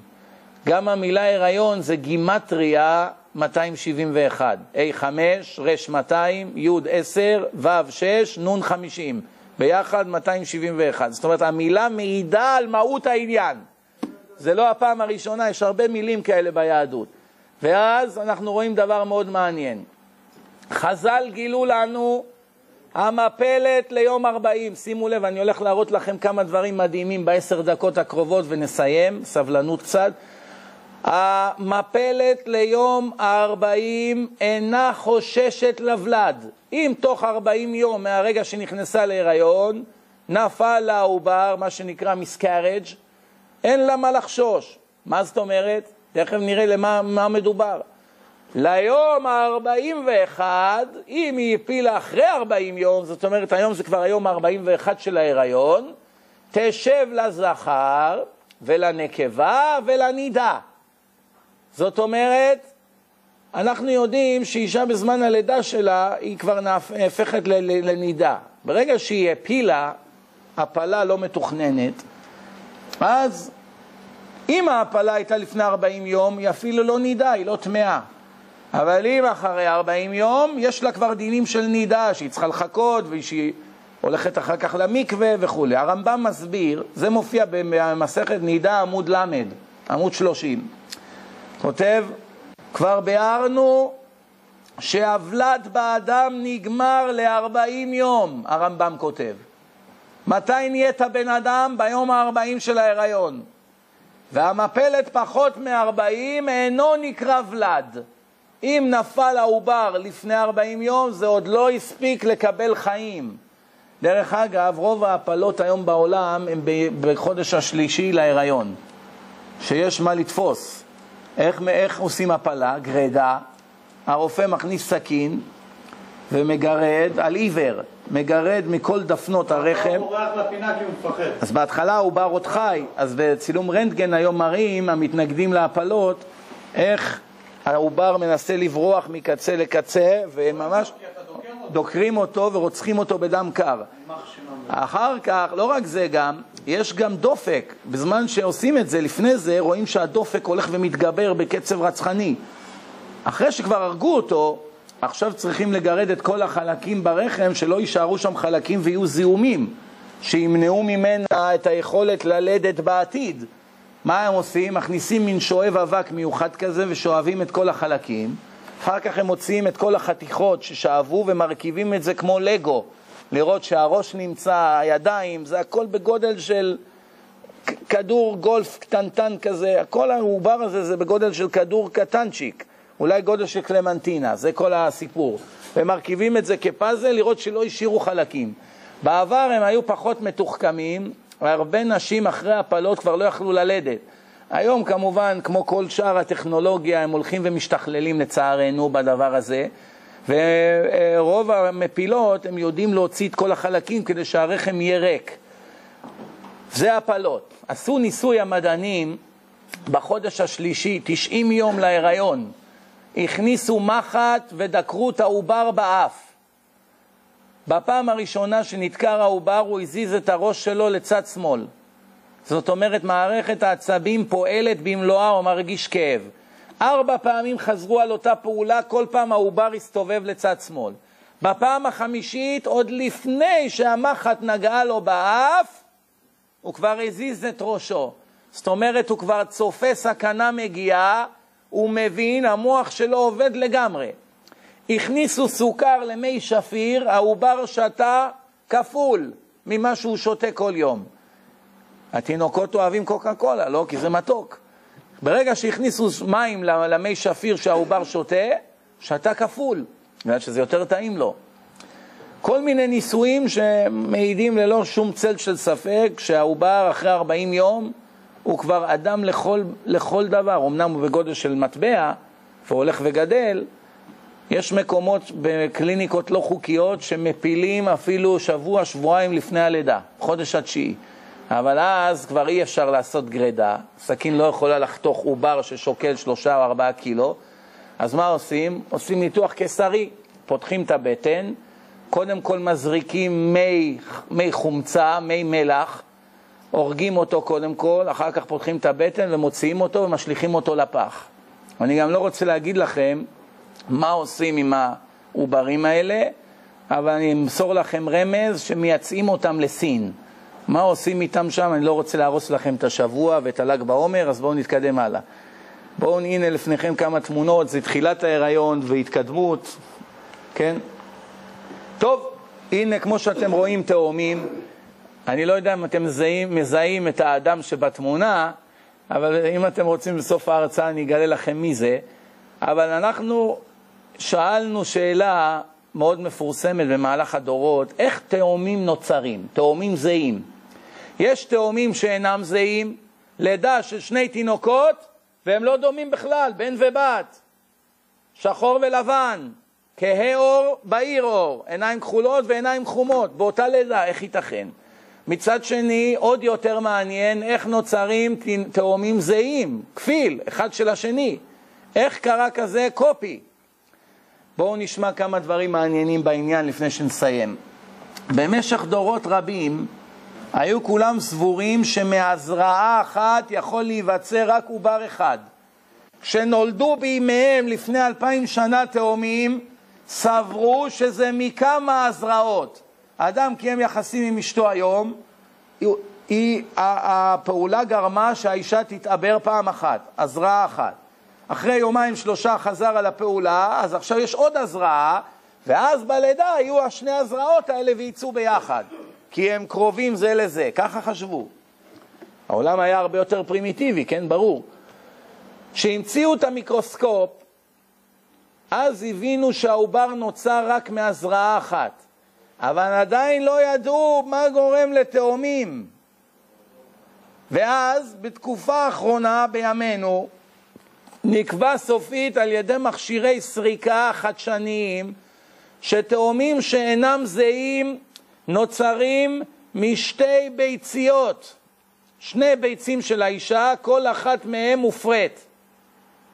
כיוון שזה שתי ביציות שונות, בכל אחד מהם יגדל אדם אחר, פרצוף אחר, גודל אחר וכו'.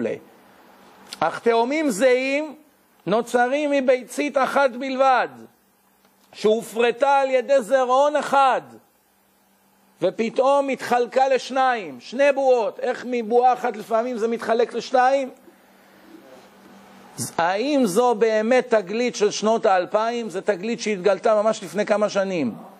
אף אחד לא הצליח להבין איך פתאום נוצרים תאומים זהים. ועכשיו התשובה היא ברורה. הזרעה אחת, זרעון אחד נתפס בביצית אחת, כעבור פרק זמן הביצית הזאת נפרדת לשתיים, ואז גודלים בעצם מאותו זירעון, מאותה ביצית, שני אנשים שזהים אחד לשני, כמו קופי, אחד הכפיל את השני. דבר מעניין. בתלמוד במסכת נידה עמוד כ"ז מובא מעשה שהיה, מעשה ונשתאה ולד אחד אחרי חברו ג' חודשים. אישה אחת באה ללדת, ילדה. פתאום אחרי שלושה חודשים רואים שעוד פעם היא צריכה ללדת. לא מבינים איך יכול להיות כזה דבר. כלומר, התאום הראשון נולד היום, התאום השני רק אחרי שלושה חודשים יצא. והרי הם יושבים לפנינו בבית המדרש, אומרים חז"ל, מצביעים עליהם, יהודה וחזקיה, בניו של רבי חייא, רבי חייא הענק המפורסם. שני הבנים שלו, יש ביניהם הבדל של שלושה חודשים.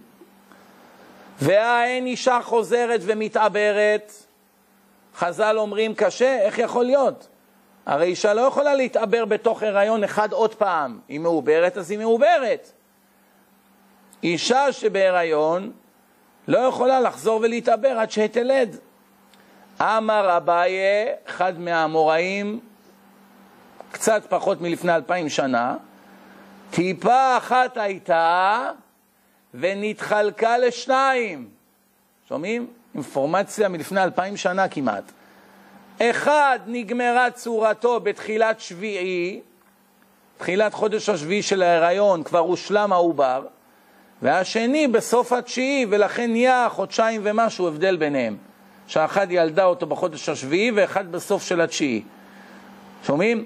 איך הוא יכול היה לדעת כזה דבר? על טיפה שמזריעה ומתחלקת? מי יכול היה לדעת? זה רק גילו לפני כמה שנים. זו גמרא מפורשת, מסכת נידה, עמוד כ"ז. מאיפה באה להם האינפורמציה הזאת? טלסקופים היו? אה, סליחה, מיקרוסקופים היו? לא היו. היה להם את היכולת לראות את מערכת הרחם כמו שבימינו עם כל המחשבים? לא היה. חייב שהאינפורמציה הזאת באה מבורא העולם. אנחנו יודעים שאנחנו הולכים לרופא שיניים, למרות ההרדמות עדיין אנחנו משקשקים. תארו לכם איך החיים היו אם היית צריך ללכת לרופא שיניים בלי הרדמה. אם עם הרדמה זה כואב, תאר לך, תאר לך שלא הייתה הרדמה ואתה צריך עכשיו טיפול שורש בלי הרדמה. האדם היה יוצא מדעתו מרוב כאבים. מי הציל אותנו מהסבל הגדול? הרופא הראשון שהרדים חולה לשם ניתוח, קוראים לו קרופרד W. לונג. בשנת 1815 הוא נולד, 1878 הוא מת. בשנת 1842 הוא הרדים חולה בפעם הראשונה. כמה זה? 1842 בערך 166 שנים, זהו. זה כל הסיפור. אך לא פרסם את תגליתו עד שבשנת 1846, תראו דבר מאוד מעניין קרה פה, ארבע שנים אחרי שהוא הרדים חולה בניתוח, בא מישהו אחר לגמרי, וגילה, קוראים לו דוקטור ויליאם מורטון, מורטון, הוא גילה את התגלית הגדולה בפני עצמו, בלי קשר, שהקדוש ברוך הוא רצה שתרד הרדמה לעולם, הוא נתן לראשון את זה, רק השני, הראשון התרשל, לא פרסם את זה לעולם. אתה מתרשל? אני חייב למצוא מישהו אחר. ארבע שנים אחר כך לקח מישהו אחר ונתן לו את השכל לפתח את זה. דוקטור ויליאם מורטון, נולד 1819, נפטר 1868, והאינפורמציה שקראתי לכם מופיעה באנציקלופדיה מכלל, כרך ו' עמוד 109. אך האם שני הרופאים האלו הם אלה שהמציאו את ההרדמה, או שמא אנחנו היהודים כבר ידענו על ההרדמה הרבה לפניהם? בואו נבדוק. בגמרא מסכת בבא מציע עמוד פ"ג, עמוד 83, רבי אלעזר, בנו של רבי שמעון, רבי שמעון בר יוחאי היה לו בן אב כרס, שוקל הרבה. הוא היה תופס גנבים ומסגיר אותם למשטרה. שלח לרבי יהושע בן קורחה היה אחד הרבנים הגדולים באותו דור, קרא לו חומץ בן יין. אבא שלך, רבי שמעון בר יוחאי, מה אנחנו חוגגים הלילה, ל"ג בעומר? משמיים זימנו שנזכיר משהו לכבודו של רבי שמעון בר יוחאי, ל"ג בעומר היום. בקיצור, שלח לרב יהושע בן קרחה חומץ בן יין. עד מתי אתה מוסר עמו של אלוהינו להריגה? עד מתי תסגיר יהודים לגויים? שיהרגו אותם בגלל שהם גנבים. שלח ל... החזיר לו מכתב, קוצים אני מכלה מן הכרם. אני עושה טובה לעם ישראל. אני מתפטר מכל הגנבים שמטילים אימה על כולנו. שלח לו תשובה בחזרה, יבוא בעל הכרם ויכלה את קוציו. מה אתה נהיית בעל הבית של העולם? שיבוא הקדוש ברוך הוא, שהוא יכלה את הקוצים. מה אתה נהיית לנו שוטר פה, כן? יום אחד פגע בהוא כובס, הוא הולך ברחוב, הבן של רבי שמעון בר יוחאי, רבי אלעזר, קבור לידו במירון. עכשיו יש שם מעל חצי מיליון איש חוגגים עד הבוקר, ברגעים אלה. פגש בו איזה כובס, אחד שהייתה לו מכבסה, קורא לו חומץ בן יין. הוא שמע כבר שאיזה רב גדול קרא לו חומץ בן יין, החצוף הזה בא, מתחצף אליו ברחוב. אמר רבי אלעזר, מדחציף כולי שמע מיני רשיעהו. מזה שהוא כזה חצוף עז פנים, כנראה שהוא רשע גדול, כי אדם שיש לו כזו עזות פנים לא יכול להיות שהוא צדיק. מה אמר רבי, ש... רבי אלעזר? אם הוא כזה רשע, אני אסגיר אותו גם כן למשטרה. מי יודע איזה דברים הוא עושה. הלך למשטרה, אמר, תתפסו גם את זה, תכניסו, קחו אותו איתכם. לבתר דנח דעתה, אחרי שהוא נרגע מהזעם של העלבון שהוא נתן לו, אז על בתרי לפרוקה ולא מצה. הלך לבית, המס, לבית האסורים לראות אם הוא עוד שם, לפני שהוציאו אותו להורג. כשהגיע לבית האסורים ראה שהוא לא שם. קרי עלה, שומר פיו ולשונו, שומר מצרות נפשו. מה הוא אמר? טיפש ההוא. הפה שלו גרם לו למות. אם הוא היה שומר על פיו ולשונו, שומר מצרות נפשו. וקבחי, הוא התחיל לבכות שבגללו מת הבן אדם, אולי הוא טעה, כי הוא לא ראה אותו גונב. אמר לרבי, אל ירא בעיניך, אל תדאג, מה אתה בוכה עליו? אתה צודק, הוא רשע גדול. הוא ובנו, הוא והבן שלו, לא רק הוא, בעלו נערה מאורסת ביום הכיפורים. בזמן שכולם הולכים לבכות לקדוש ברוך הוא שימחל להם, מה עשו השניים האלה? הלכו לאנוס בחורה שכבר היא אשת איש, שקיבלה קידושין מגבר אחר, שהעונש הזה הוא סקילה. הניח ידו על מאב, הוא היה גדול מאוד, התחיל ככה להכות על הכרס שלו, ואמר, סיסו בני מעי, תשמחו על השומן שלו, תשמח, הוא אומר לכרס שלו, תשמחו, אל תדאגו. מה קרה? הוא אומר, מה הספקות שלכם כך, ודאי שלכם על אחת כמה וכמה. אם כשהיה לי ספק יצא שצדקתי על כל אלה הגנבים שאני יודע עליהם בוודאות שהם הורסים לאנשים פה את החיים, על אלה בוודאי כמה, אחת כמה וכמה. מובטח אני בכם, עכשיו אני יודע בוודאות שאין רימה ותולעה שולטת בכם. ביום שאני אמות, התולעים לא יוכלו לגוע לי בשומן, בבטן, כמו שעושה בגופות אחרים. ואפילו הכי לא מייתבא דעתיה. למרות כל זה, הוא עוד לא היה רגוע. כאב לו על החצוף הזה, כן? יום אחד רצו לעשות לו ניתוח. איך קוראים בימינו לניתוח הזה? liposuction. שאיבת שומן. דרך אגב, שתדעו שאף על פי שזה לא נחשב ניתוח הכי מסובך שבעולם, הרבה מאוד אנשים מתים במהלך הניתוח הזה. זה ניתוח עם אחוזי תמותה גבוהים מאוד. לכאורה זה ניתוח פשוט, הרבה אנשים מתים בזמן הניתוח הזה. זה ניתוח לא פשוט, זה נקרא שאיבת שומן. מכניסים צינורית כזאת, ראיתי את זה פעם בווידאו איך עושים את זה, ועם הצינורית מתחילים ללכת בין האור לבשר ומתחילים לשאוב את כל השומן, וממלאים דליים של שומן, ממש נוזלי, שומן. משהו משתבש להם לפעמים ואנשים מתים.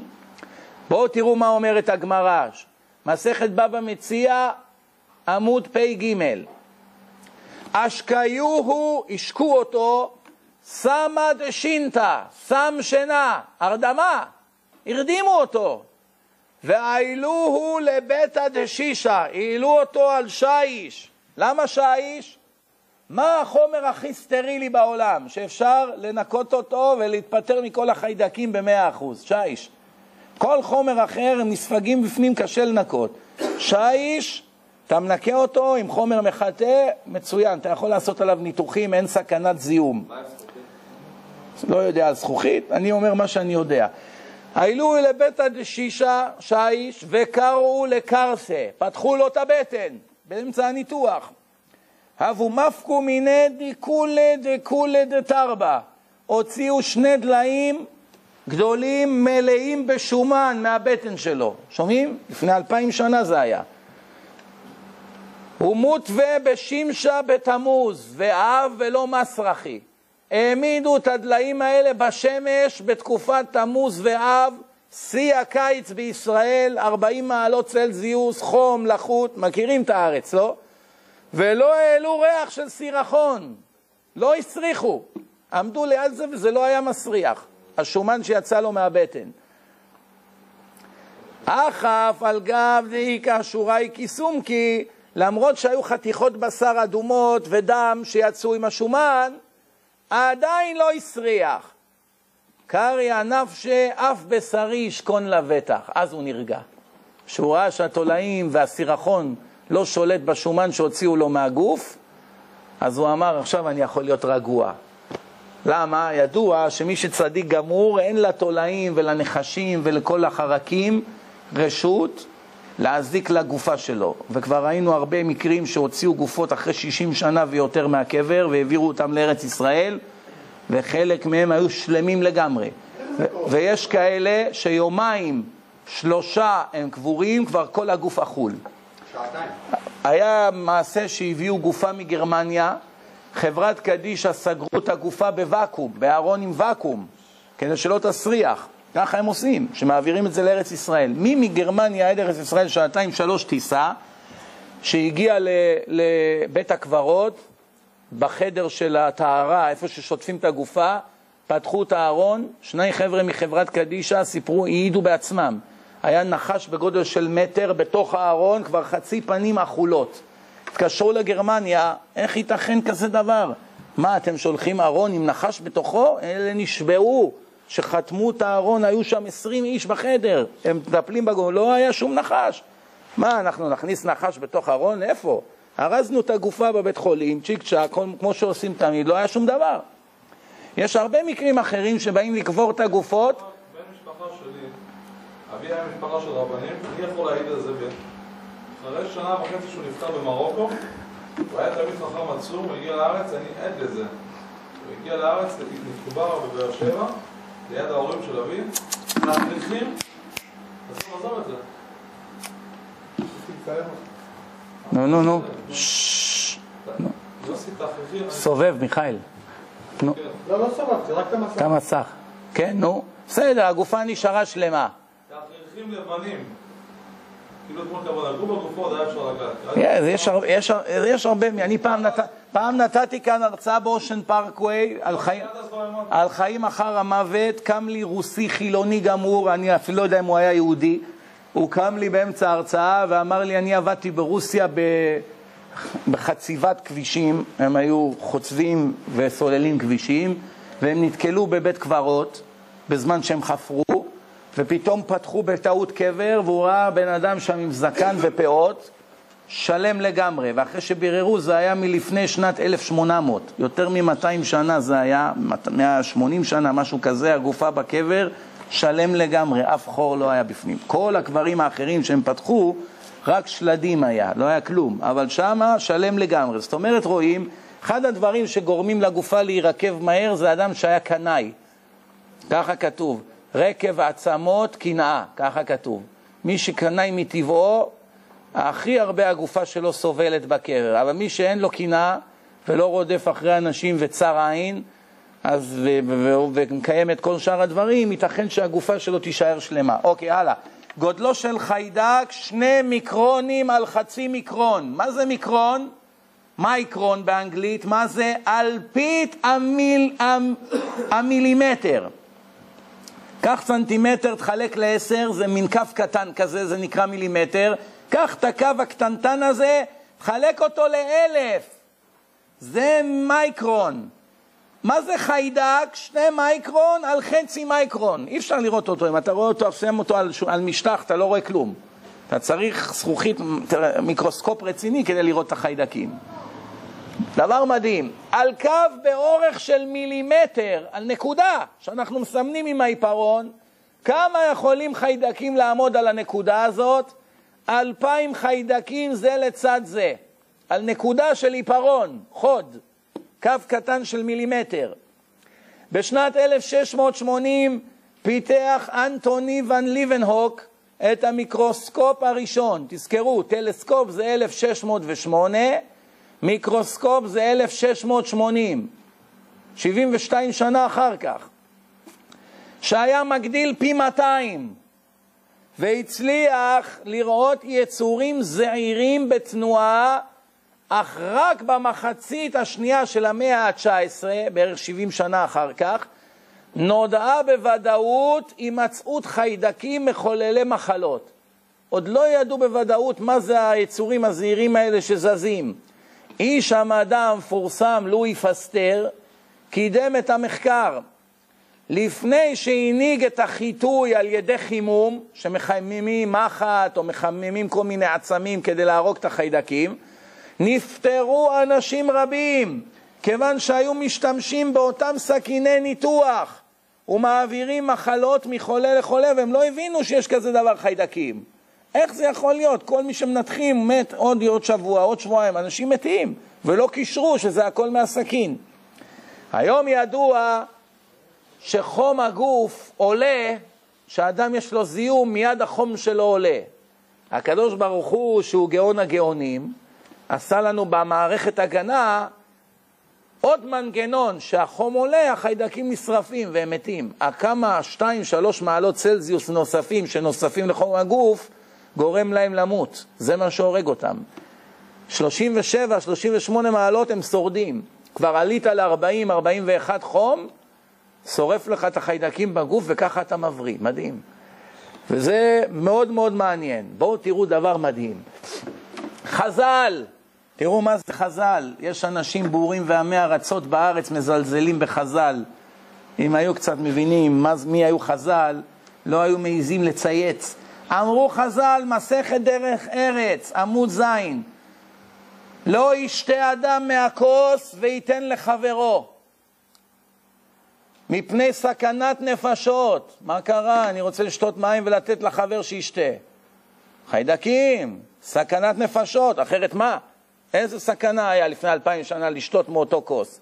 הם כבר ידעו שאחד יכול להדביק את השני. ובצוואתו של רבי אליעזר, גם כן לפני יותר מאלפיים שנה, מבוארת הסיבה. הוא גם מביא את הסיבה במפורש. שמא יש לו חולי בגופו, ויצא מפיו לאותו שיעור. מה זה שיעור? שארית המים שיש בכוס. וברור שמדובר על כל אדם, אפילו בריא. לא אמרו רק מישהו שחולה לא ישתה מהכוס. גם כל אדם שיש בגופה, בגופו חיידקים שאינם פעילים. אדם בריא יכול להעביר לכוס חיידקים שבגוף שלו הם לא פעילים. הם נכנסים לכוס, החבר שלו שותה אותם, בגוף של החבר הם מתחילים לפעול. ואז החבר נהיה חולה, מדהים. במסכת עבודה זרה עמוד כ"א אמר שמואל, תשמעו טוב, תראו מה זה חז"ל. פצע שנוצר ממכת ברזל, סכנת חיים יש בו ומחללים עליו את השבת. אף על פי שחילול שבת זה עבירה חמורה מאין כמוה, כשאדם נפצע ממסמר או איזה סכין, ברזל, מותר לחלל את השבת בגלל שזה סכנת מוות. ואכן כיום ידוע שיש בברזל חיידקי טטנוס בחלודה שעלולים להיות קטלניים. שבוע אחרי שאדם נפצע, הוא יכול פתאום להרגיש שהגוף שלו נהיה משותק ואז כבר מאוחר מדי. לכן היום כל מי שנפצע מיד שולחים אותו לקבל זריקת טטנוס. סכנת נפשות. מסכת בבא מציע עמוד כ"ט, אמר רבי יוחנן, קסא דחרשין ולא קסא דפושרין.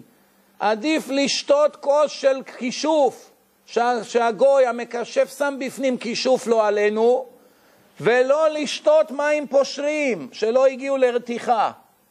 אז היו מוצאים מים מהאדמה, לא היה ברזים עם מסננים כמו היום. שהיו חופרים באדמה, מוציאים מים, מה היו עושים? צריכים להרתיח אותם. לואי פסטר חידש את זה לפני מאה שנה, חז"ל כבר לפני אלפיים שנה היו עושים את זה יום-יום. מה אתה נותן לו קרדיט בכלל? זה דבר שכל הרבנים ידעו. אומרים, תיזהר לא לשתות מים שלא הרתיחו אותם. איך הם ידעו? ולא המרן אלא בכלי מתכות. על מה מדובר? אם זה בכלי מתכת, תרתיח. אבל בכלי חרס, לטלן בה, אין סכנה. שם החיידקים לא מתרבלים בכלי חרס. בברזל מתרבים מהר. תראו איזה יופי.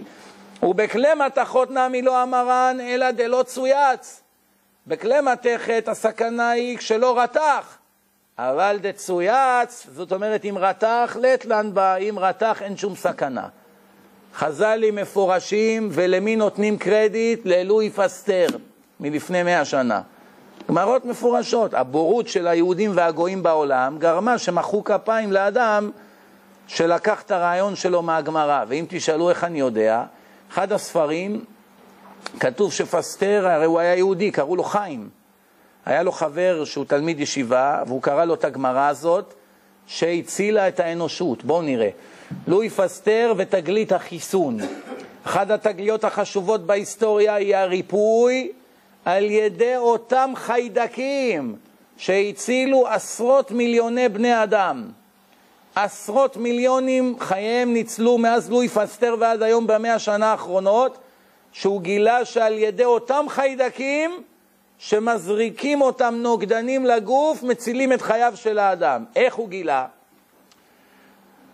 בתחילה הוא גילה את התרופה למחלת הכלבת, ואחר כך למחלות נוספות. בספר מבוא שערים, ספר יהודי בלשון קודש, אשר נכתב בדורו של לואי פסטר, מובאת עדות ידידו הקרוב, רב דוקטור ישראל מיכאל רבינוביץ', שהיה חבר שלו, של פסטר, כי פסטר קיבל את היסוד למחקרו מן התלמוד.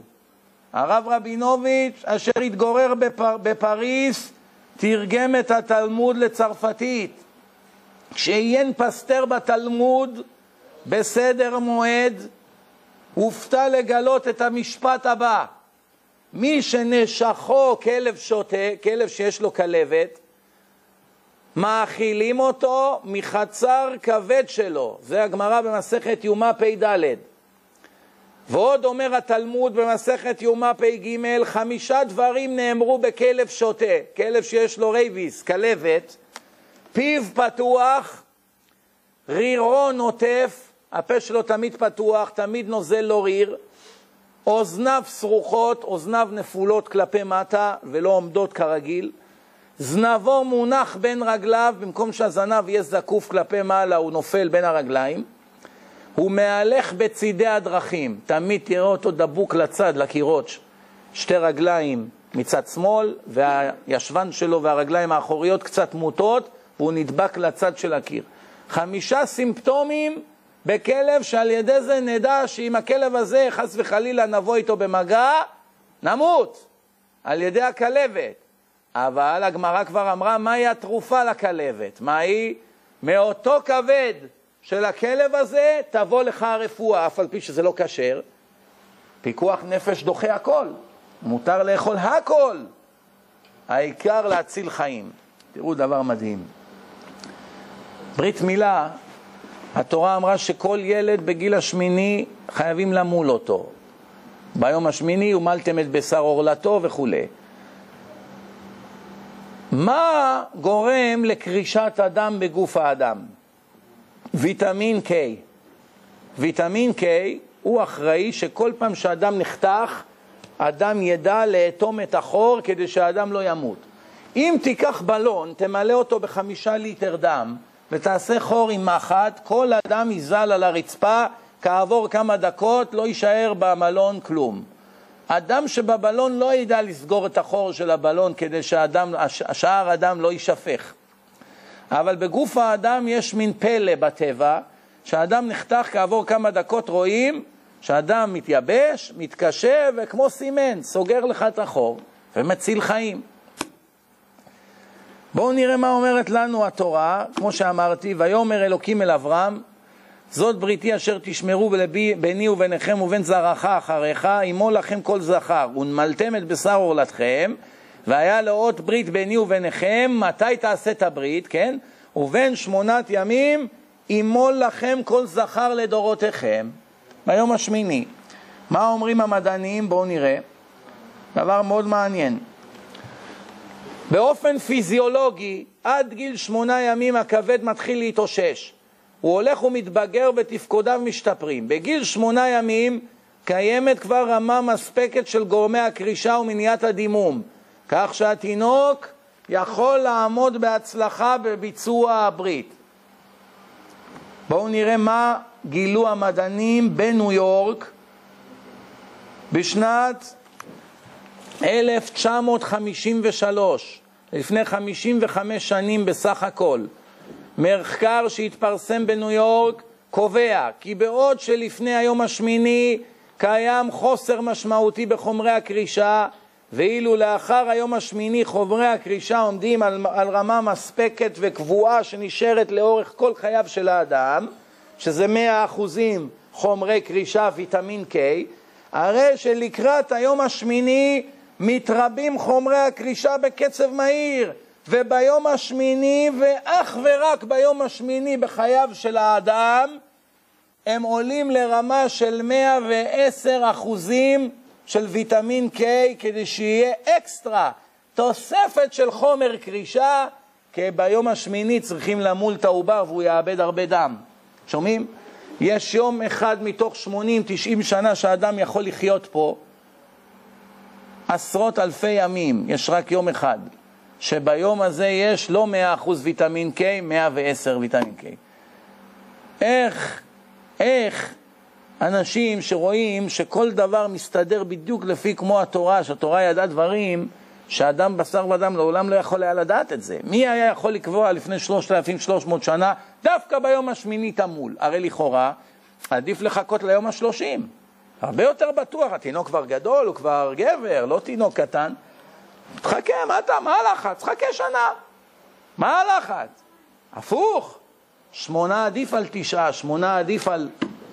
זה לא שמאה אחוז לא יספיק, לא לטעות. גם מאה אחוז יספיק, הוא לא ימות. אבל כדי שלא יהיה שום סבל נוסף על עיבוד דם, אז גרמו שבחודש, ביום השמיני היה הברית, הקדוש ברוך הוא קבע, ודווקא ביום הזה הוא גרם. אני נשאר לי ממש עוד שני שקפים, בואו נסיים את זה, ויש לנו הרצאה מושלמת. כל החומרים בטבע מתפשטים בחום ומתכווצים בקור, מלבד המים. כל חומר שמחממים אותו מתרחב, מקררים אותו הוא מתכווץ. המים אותו דבר, עד שמגיעים לטמפרטורה של 4 מעלות צלזיוס. ברגע שהמים מתקררים, מתקררים ומגיעים ל-4 מעלות צלזיוס, שזה כבר מתקרב לאפס, ובאפס זה כבר קיפאון, נהיה קרח, המים מתהפכים. התכונות הפיזיולוגיות של המים, out of nowhere, ללא שום הבנה, מתהפכים ומתחילים להתרחב. עד עכשיו התכווצו, התכווצו, התכווצו, במקום להמשיך ולהתכווץ, פתאום מתחלף ומתחיל להתרחב. אף אחד לא מבין. אני מבין, התורה מבינה, איך התורה אומרת? אם המים היו ממשיכים להתכווץ, השכבה העליונה של האוקיינוסים הייתה קופאת, מתחילה לשקוע לתחתית, ואחר כך השכבה העליונה שוקעת. קופאת, שוקעת, קופאת, שוקעת. תוך כמה ימים או שבועות או, ש... או חודשים, כל המים בעולם היו גוש אחד של סימנט, קרח. כל הדגים, כל הצמחייה בים, הכל היה מת. בעיה אחת. נו, אז תגיד, אז היה עולם בלי דגים, נו, בסדר. אבל לא היה מה לשתות. אז תגיד, היית צריך ללכת עם גרזנים, לשבור חתיכות קרח ולחמם את זה באש, כדי שיהיה לך מים. נו, איכשהו עוד היינו עושים את זה. אבל כשהקיץ מגיע וגוש ענק כזה של קרח מתחיל להפשיר, מיד הוא עולה על גדותיו וסוחב את כל העולם וכולם מתים. אי אפשר היה לחיות פה, בקיצור. זאת אומרת, הבורא הגאון ידע שאם המים ימשיכו להתנהג כדרך הטבע, תבוא, יבוא אסון על האנושות. גזר על המים עד ארבע מעלות צלזיוס, מרשה לכם להתכווץ. מארבע ומעלה, ומטה זה כבר סכנה. תתהפך ותתחיל להתרחב. וזה מה שאנחנו רואים. לכן קרח מפוצץ את הפלסטיק. או אם אתה שם בבקבוק זכוכית קרח בפריזר, הבקבוק מתפוצץ כי הקרח מתחיל להתרחב. לפני שנהיה קרח, הפוך, התכווצו המים. כשהגיע לארבע, מתחילים להתרחב, הגיע לאפס, מפוצץ את הבקבוק. למה? כי אם זה לא היה ככה, מצבנו היה אנוש. כל העופות, אומרים חז"ל, מגביהים את פיהם לאחר שקולטות מים. כל עוף שאתה רואה ליד מים שהן שותות, איך שמכניסות מים למקור שלהם כדי שזה לא ייפול, מיד מרימות את הראש כדי שזה יחלחל לתוך הגרון. חוץ מהיונה, שהיא לא צריכה להרים את הראש, היא פשוט שואבת כמו בקש, מים, מוצצת את המים מהים. מסכת פרה ט"ג, זה אינפורמציה, יש על, עשרות אלפי סוגים של עופות. באים חז"ל, אומרים לך, מכולם יש רק את היונה שהיא יוצאת דופן. אינפורמציה אלוקית חד משמעית. כל שיש לו קרניים, יש לו טלפיים. כמו שאמרנו, קסקיסים וסנפירים, כל יצור שיש לו קרניים, יש לו טלפיים. נידה נ"א. בהמה טמאה שהיא ממליטה, היא לא מרחיקה את ולדה, היא נשארת ליד הוולד, בהמה טמאה, שאסורה באכילה. ואם מרחיקה, שוב אינה מקרבת. אם ראית מקרה יוצא דופן, שבהמה טמאה, נגיד סוס, חמור, לא משנה מה, הרחיקה את הוולד אחרי הלידה, תדע שכבר היא לא תתקרב אליו לעולם. מסכת שבת קכ"ח, אבל הבהמות הטהורות, שהוולד נולד, מתקרבות, מתרחקות אליו on and off, אין בעיה. אבל הטמאות נשארות דבוקות אליו, דבר מדהים. דג טמא משריץ, דג טהור מטיל ביצים. כל הדגים הכשרים לאכילה מטילים ביצים ומהביצים יוצאים דגים. זה מה שאנחנו אוכלים, קוויאר, ביצי, דג, ביצי דגים, זה כשר. דג טמא, הוא מוליד ישר את הדג, יוצא לו דג מהבטן ויוצא לאוויר העולם, לאוויר האוקיינוס. אבל הדגים הטהורים זה יוצאים מביצים. בכורות עמוד זין. כל המוליד מניק. כל נקבה בטבע שיולדת מסוגלת להניק. כל מי שמטיל ביצים מלקט עם מקור. חוץ מן העטלף. תראו איזה, איזה ידע. למה את זה לא מלמדים באוניברסיטה? למה? זו השאלה. שמואל ריפא את עיניו של רבי יהודה הנשיא לפני אלפיים שנה על ידי ששם משחה תחת ראשו שחדרה דרך הגולגולת עד לעיניו. רבי יהודה הנשיא הלך לישון בלילה, הוא לא רואה בעיניו, בבוקר הוא קם, לא צריך משקפיים, ניתוח לייזר ב-20 גרוש. למה? שם לו משחה פה בגולגולת, אמרתי שן על זה, זה מתחיל לחלחל לתוך הראש, נצפק במוח, בגולגולת, נכנס למקומות איפה שאחראי על הראייה, ובבוקר אתה תקום ותראה איפה המשחה הזאת, אם היה לי אותה, מצבי היה טוב היום. תארו לכם מה, מה היה המחיר שלה, כן? טוב, איבדנו אותה. הלאה. בבא מציע פ"א, יד, ידעו החכמים ששינוי וסת היא תחילת חולי מאיים. שהנידה שאישה מתחילה לקבל מחזור, קצת לפני מתחילה כאבי בטן. שיש קשר בין הכאב בטן הפנימי הזה, אף על פי שלכאורה זה לא אמור להיות קשר, מה שייך מחזור לכאב בטן, ידעו שזה הסיבה. דבר נוסף, רבי שמעון בן גמליאל ידע שאין מרובע בכל העולם שנוצר מרובע מששת ימי בראשית. הכל עגול, מתעגל, כל מיני צורות, אבל אין שום דבר עם ארבע דפנות בעולם, עם בריאה שהוא מרובע. כל מה שאתם רואים מרובע בעולם, זה האדם עשה את זה, ליטש, חתך ועשה מרובע. בכל העולם אין שום דבר מרובע. אביי ידע שכל הדגים הטמאים הם ללא עמוד שדרה. כל הדגים שאסורים באכילה, אין להם עמוד שדרה. מסכת סוכה י"ח. וכן ידע שפטריות אינן יונקות מהאדמה. אף על פי שאתה רואה פטריות בדשא וליד העצים, הם שונים משאר הירקות שגדלים. כל הירקות יונקים מהאדמה את החיות שלהם. הפטריות יונקות מהאוויר. לכן על פטריות לא מברכים, בורא פרי האדמה. כי החיות שלהם לא באה מהאדמה, אלא שהכל נהיה בדברו. אתם רואים שהחכמים ידעו דברים הרבה יותר מהמדענים של היום. דוד המלך ניתח את חייליו והוציא להם את הטחול, ספלינט, טחול, מסכת סנהדרין כ"א. וכן, אף רופא בעולם היום לא יודע לעשות ניתוח כדי להוציא טחול. בכמה ניסיונות שנערכו החולה נפטר, לא הצליחו. בזמן דוד המלך, הרופאים היהודים, הרבנים ודוד המלך עצמו, היו מוציאים את הטחול מהחיילים. למה? כי מי שמוציאים לו את הטחול יכול לרוץ ולא מתעייף לעולם. יכול לרוץ מכאן עד אילת. לא מתעייף.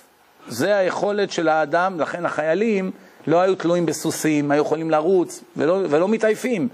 ועוד דבר הוא היה עושה, היו חוקקים להם בכפות הרגליים חתכים עם סכין חדה ומנטרלים את מערכת העצבים ברגליים. ידעו איזה צורות לחתוך, שהאדם יוכל לרוץ על אש, על קוצים, על מים, על מה שאתה רוצה, והוא לא מרגיש שום כאבים. אפילו מדמם, כואב, יכול להמשיך לרוץ ולא סובל, כדי שיוכלו להילחם במלחמה.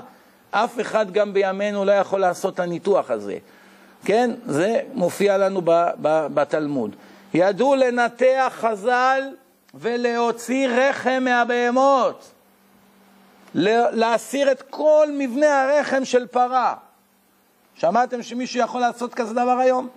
סנהדרין ל"ג וכן ניתוח קיסרי, יש משנה מפורשת שאומרת יוצא דופן. מה זה יוצא דופן? בעברית יוצא דופן זה דבר נבדל, יוצא מן הכלל. מאיפה בא הביטוי הזה יוצא דופן? דופן זה צד. יוצא מן הצד. במקום לצאת בדרך שתינוקות יוצאים, היו עושים ניתוחים קיסריים בזמנם, ותינוק כזה שנולד, קראו לו יוצא דופן. מה, למה הגדירו אותו ככה? כי הוא לא יצא בדרך רגילה. אחד כזה אינו חייב בפדיון הבן, רק תינוק שנולד באופן טבעי. למה? פטר רחם, אמרה התורה, מה שיצא מן הרחם, לא מהבטן. הבנתם? אז בימם, בימיהם היו עושים ניתוחים קיסריים. זה לא התחיל בדורנו כמו שהרבה חושבים. תראו את המידע שחז"ל היה להם. עוד דבר נוסף, דג, נחש וחזיר, ככל שהם מזדקנים, הם הולכים ונהיים יותר חזקים. בניגוד לכל שאר בעלי החיים בטבע, שככל שהם מזדקנים, נהפכים ליותר חלשים. זה מופיע במסכת שבת ע"ז. כבשה שנקדר קנה שלה, עשו לה קרומית של קנה במקומה. כבשה אחת נפצעה על ידי דקירה, לא יודע בדיוק איך, אבל נעשה לה דקירה בקנה, והאוויר היה בורח לה, קשה לה לנשום, בורח לה מהצד אוויר. עשו לה ניתוח, החליפו לה את הקנה בקרומית מלאכותית. לקחו איזה, איזה משהו מלאכותי שבנו בניתוח ושתלו לכבשה קרומית במקום הקנה. שומעים? ניתוחים ברמות, ברמות הכי גבוהות, זה לפני אלפיים שנה.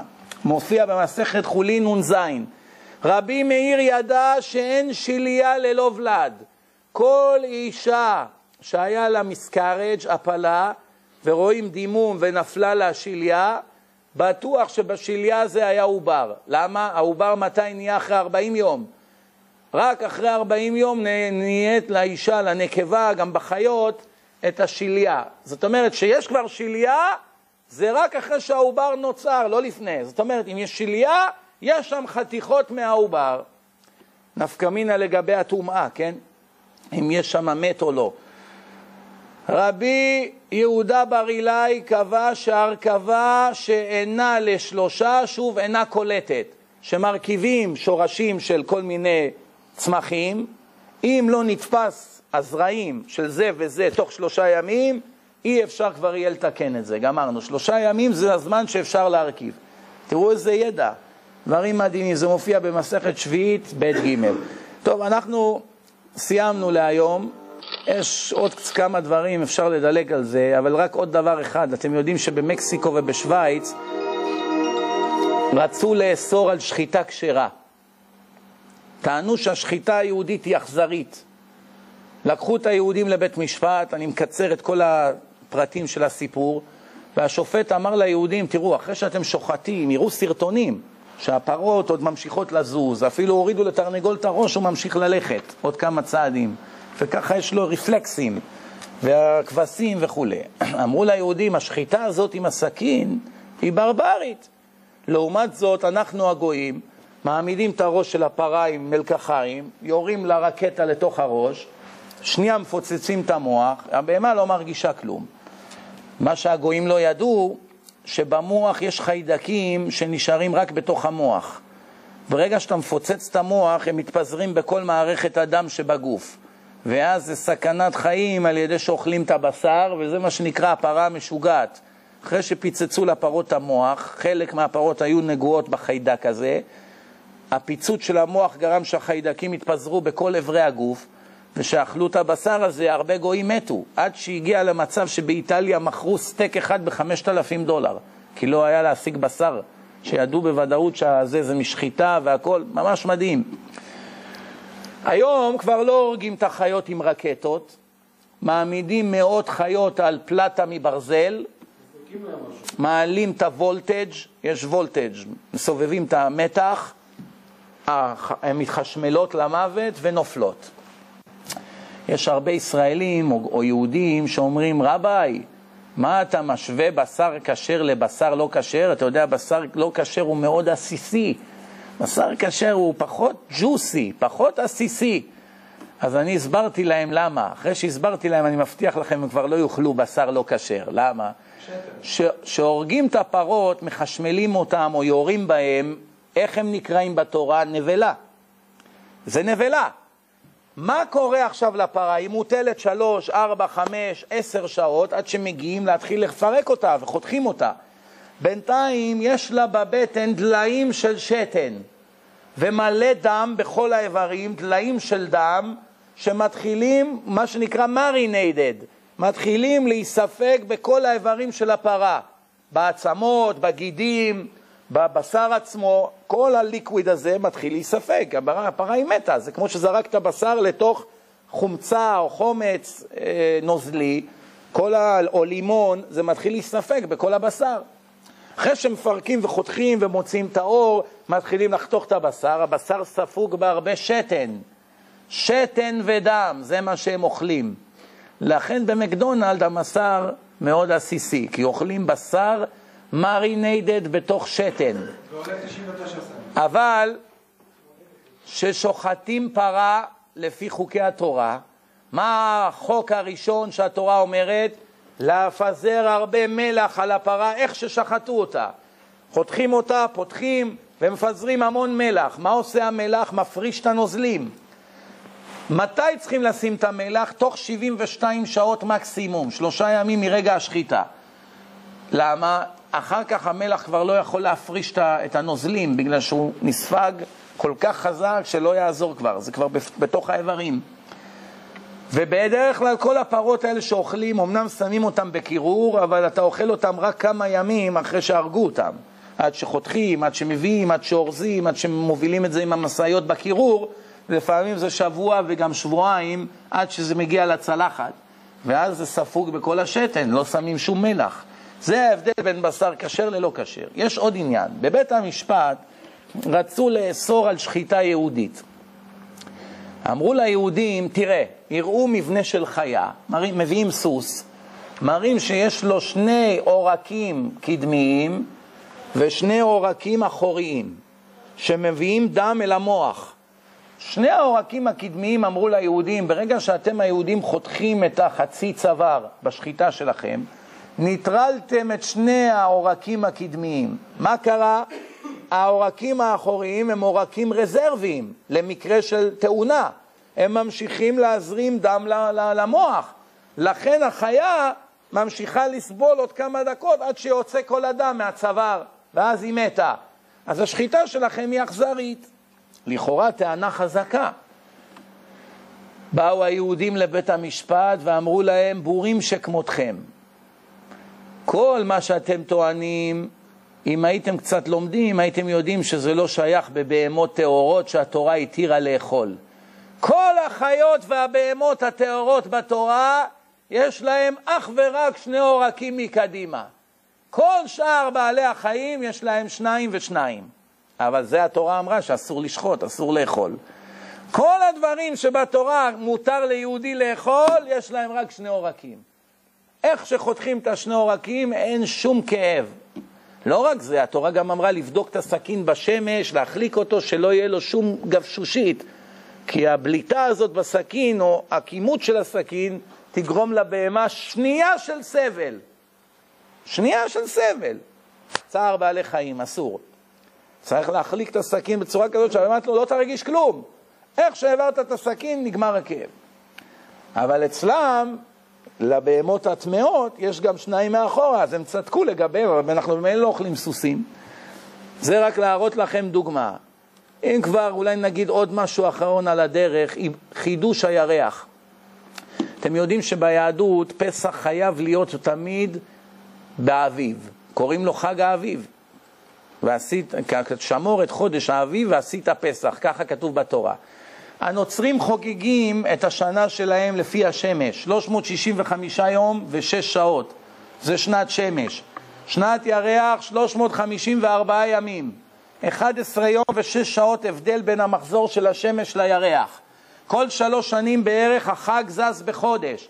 המוסלמים שהולכים לפי הירח בלבד, הרמדאן זז להם כל כמה שנים מהקיץ אל החורף, צום הרמדאן.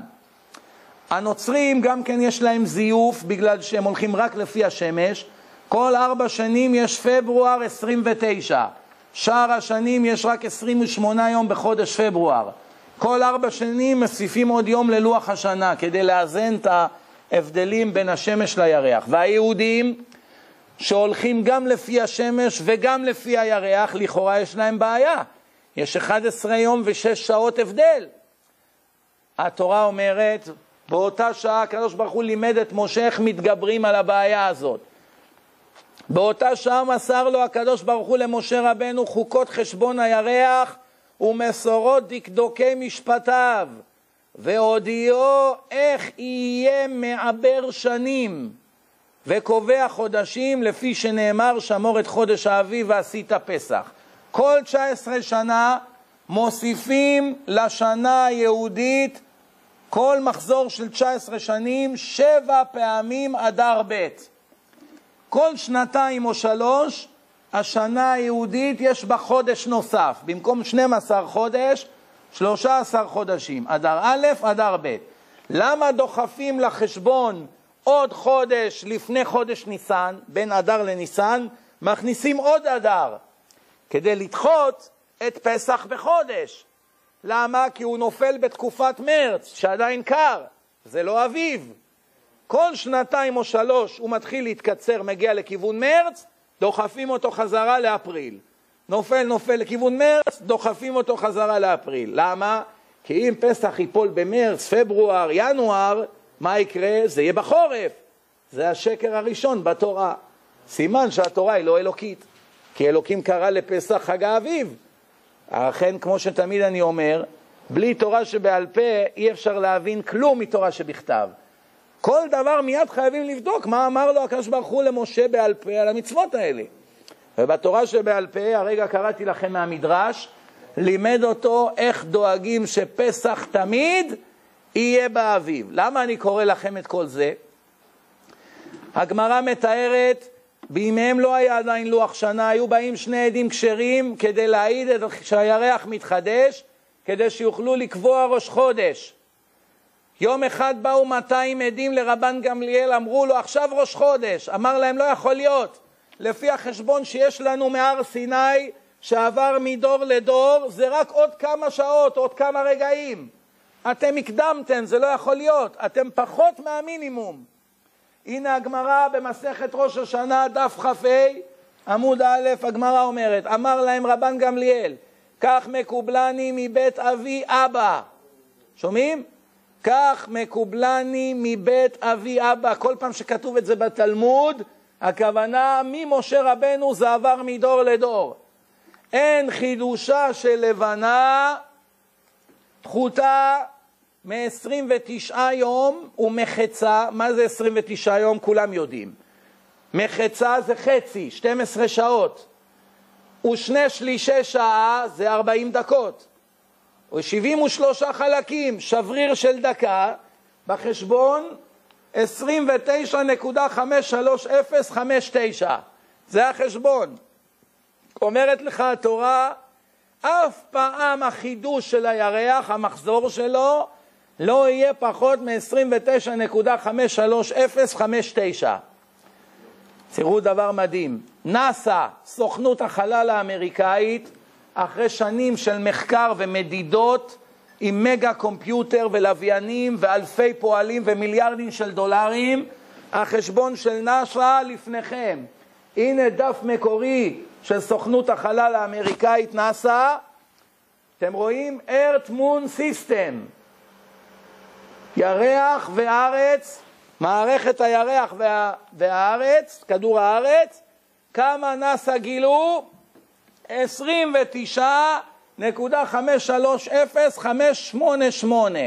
כמה אומרת התורה? 29.530590. הם אומרים 588. שתיים חלקי עשרת אלפים של שנייה. זה ההבדל בין נאס"א, עם מיליארדים של דולרים ועשרות שנים של מחקרים, לבין מה שהגמרא אמרה לנו במסכת ראש השנה. מי צדק? תכף נראה. הגרמנים שהם קצת יותר יקים ויותר קפדנים, בשנת 1965 בברלין, הנה צילום מקורי של המחקר הגרמני, הגיעו למספר 29.530589, אחד חלקי עשרת אלפים של השנייה. והיום מישהו כבר אמר לי שהם עדכנו את זה ל-590. בין בו צודק, בין בלא, לא ראיתי את המקור, זה לא משנה כלום. מי יכול היה לפני אלפיים שנה לכתוב את חשבון הירח על אחד חלקי עשרת אלפים של השנייה שלא היה מחשב כיס, שלא לדבר על מחשבי ענק. מה ההוכחה המתבקשת? שאת התורה שלנו, בין שבכתב, בין שבעל פה, לעולם לא יכול היה אדם בשר ודם, או אפילו אלף חכמים, או אפילו מיליון חכמים, עם כל הציוד הטכנולוגי שתרצה, לא היו יכולים לכתוב דבר אחד ממה שהראיתי לכם היום. אך ורק זה שברא את העולם יכול היה לכתוב את זה.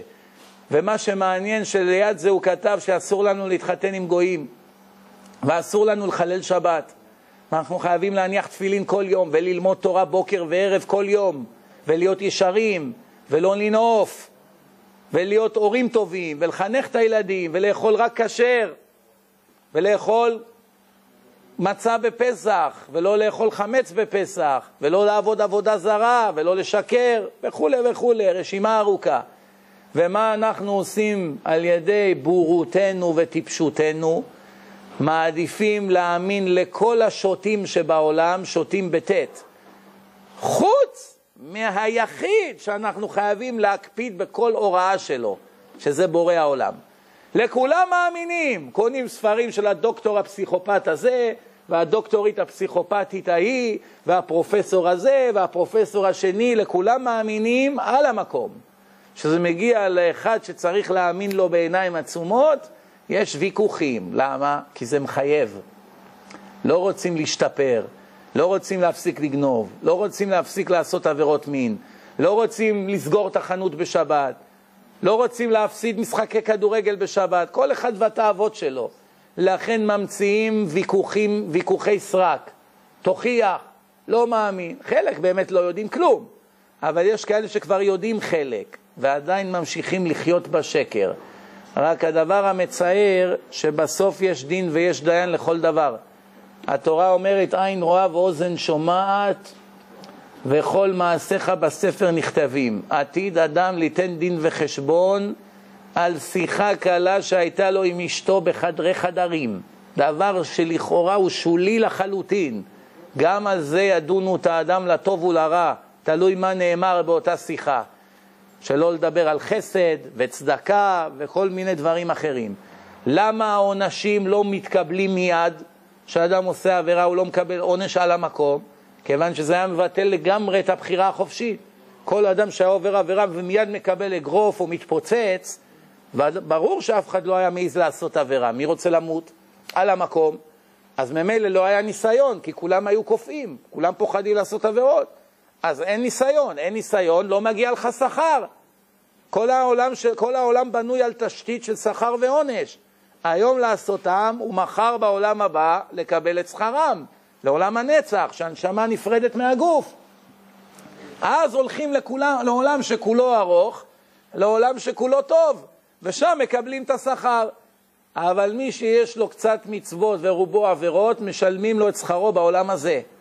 שיגיע ערום לחלוטין לעולם הנצח, ואז כבר לא חייבים לו כלום. כל הדברים האלה זה פסוקים מפורשים בתורה. מי שמכם יש לו עוד ספק, ייכנס בבקשה ל-www.divineinformation.com. שם יש את כל ההרצאות בכל הנושאים, בכל התחומים, גם בעברית, גם באנגלית. ומצווה להפיץ את זה לכל חילוני שמכירים, בין בו ישראלי, בין בו אמריקאי, אירופאי, זה לא משנה. כולם צריכים לדעת את האמת, כי הרבה אנשים פועלים מתוך בורות. לא בגלל שהם רעים, כיוון שפשוט אין להם את הידע המינימלי. יש לנו, לסיום, את המשפט האחרון להיום. הגמרא כבר ידעה שמעשיו, אחיו של יעקב, יצא היטלר. הגמרא אמרה לפני אלפיים שנה שיעקב התחנן לבורא עולם שלא ייתן לעשו הרשע להצליח במזימתו. למה? שימו לב, מסכת מגילה דף ו' אל תיתן מאוויי רשע, זממו אל תפק. אמר יעקב לפני הקדוש ברוך הוא, ריבונו של עולם, אל תיתן לעשו הרשע תאוות ליבו.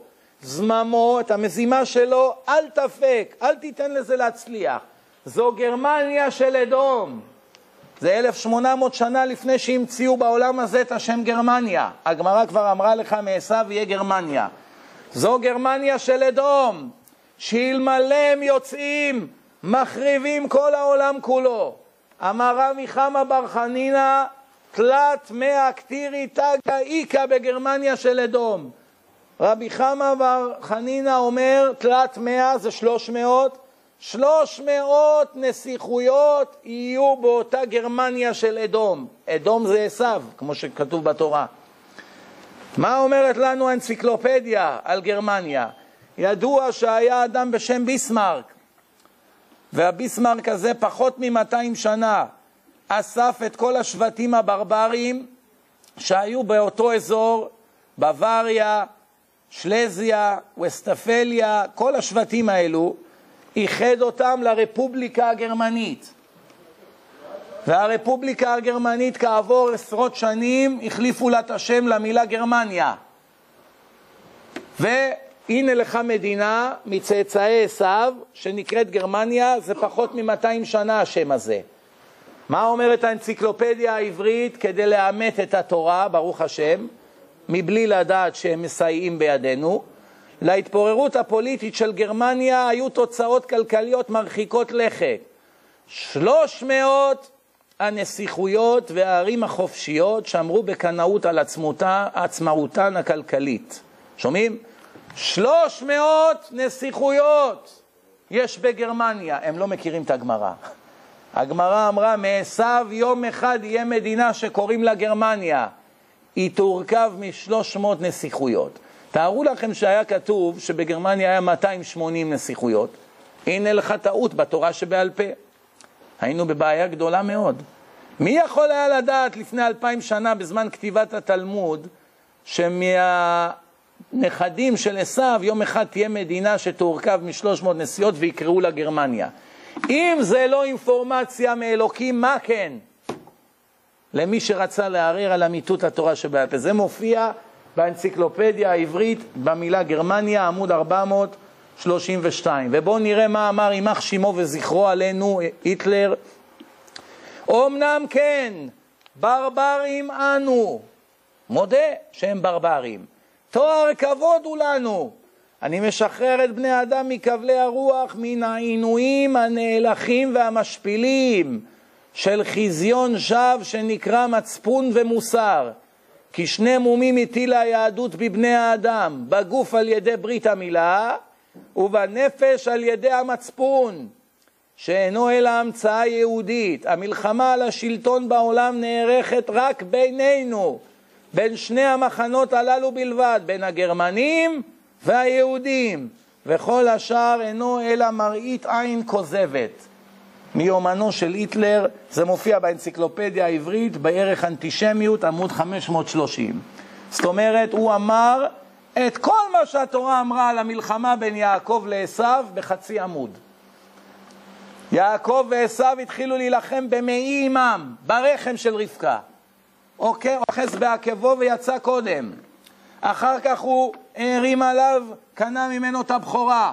אחר כך כתוב, עשו בא לקראתו, וייצר ליעקב מאוד, יעקב רעד ממנו. בא אליו עם ארבע מאות איש להורגו. יעקב נתן לו מתנות והתחנף בפניו, עזב אותו בסוף עשו. המלחמה בינינו לבינם אף פעם לא הפסיקה. זה הבבלים, זה היוונים, זה הרומאים, זה המן בפרס, כולם מצאצאי אדום. ועד השואה והנאצים הגרמנים, שהגמרא כבר אמרה לך שאם עשו יצליח במזימתו, הם ירצו להחריב את כל העולם כולו. ומה אומר לך היטלר? היהודים המציאו את המצפון, כואב להם, עבירות, מצוות, זה מפריע להם, לכן הם שונאים אותך. וברית מילה בגוף, הם קוראים לזה דפקט. במקום להבין שזה משביח את האדם ומעביר אותו מ-97% ל-100%, הם חושבים שזה מוריד אותו מ-100% ל-97%. ומה שמעניין ומצחיק או עצוב, תלוי איך אתם מסתכלים על זה, שבצה"ל אימצו את שיטתם. בורות זה נזק רציני, זה לא פשוט להיות בור. הבורים שהחליטו את החוקים בצבא, קבעו שאדם שנימול זה מוריד לו את הפרופיל מ-100 ל-97. חשבתם פעם למה זה אדם מושלם זה 97 ולא 100? בגלל ברית מילה. זאת אומרת, מי שלא נימול צריך לקבל פרופיל 100 בצבא.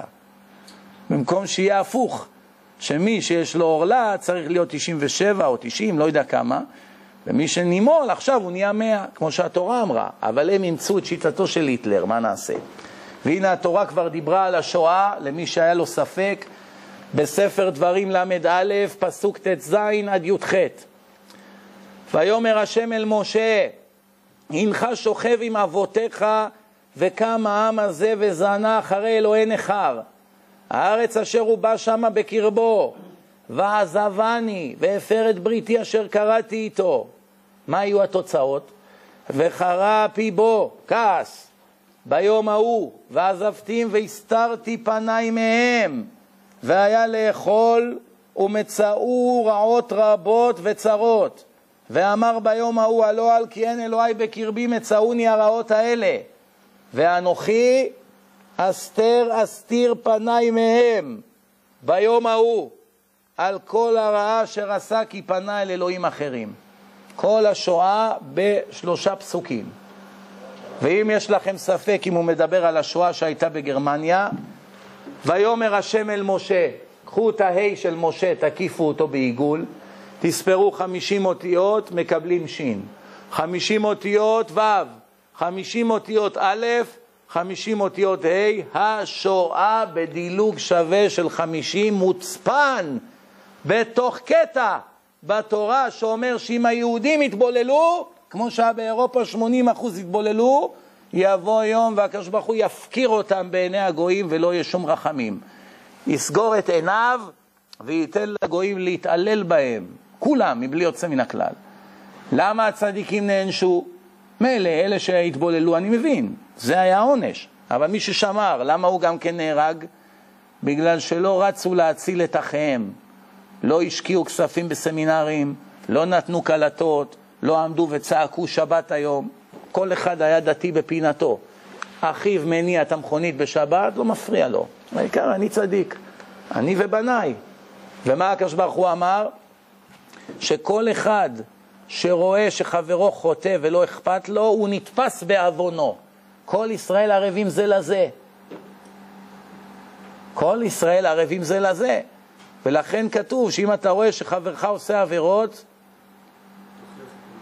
הוכח, תוכיח את עמיתך ולא, ולא תישא עליו חטא. אם אתה רוצה שלא תהיה אחראי על החטאים שלו, אתה חייב להוכיח אותו. לצעוק אליו, קח ספר, תקרא, בוא אני אראה לך הוכחות שהתורה אמת. למה אתה מחלל שבת? למה אתה רוצה להתחתן עם גויה? למה אתה אוכל טרף? וכולי וכולי. תתווכח, תציל 20 אחוז. איך אתה יכול לישון בשקט שאחיך הולכים לטבח, טבח רוחני? מה אמר הקדוש ברוך הוא? אם זה בניי, לא צריך אותם. שישה מיליון הלכו לעזאזל, לצערנו. זה יכול היה להימנע. אם היו עושים תשובה זה היה נמנע. היו כמה שנים של אזהרות. קודם כל זה, ספסלים, כלאי, בעיות כספיות, יכלו לברוח, יכלו לעשות תשובה. היו מאוהבים בכסף לצערנו, גם פה באמריקה היום. אם המצב יחמיר, ונראה שהוא הולך להחמיר, כמה יהודים יסכימו לעזוב את הכל ולברוח? בנו בניינים, קנו בעלי בנקים, בעלי כל מיני עסקים. התאוות ממון שלהם לא תיתן להם לברוח. מי שיוותר, ינצל. מי שימכור את נשמתו לשטן עבור הכסף, חס וחלילה, מי יודע אם זה לא יבוא שוב. אין שום ביטחונות. תדעו דבר אחד, כל מה שקורה זה הכל בידינו, בין בזה באופן אישי, בין בזה אופן כללי לכל עם ישראל. התורה אומרת שפרה אדומה שנולדת פעם בכמה שנים, פעם עשרות שנים, מאות שנים, סך הכל תשע כאלה היו בהיסטוריה.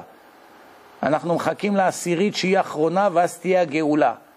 התורה אומרת שפרה אדומה מותר לקנות מגוי. מה החידוש?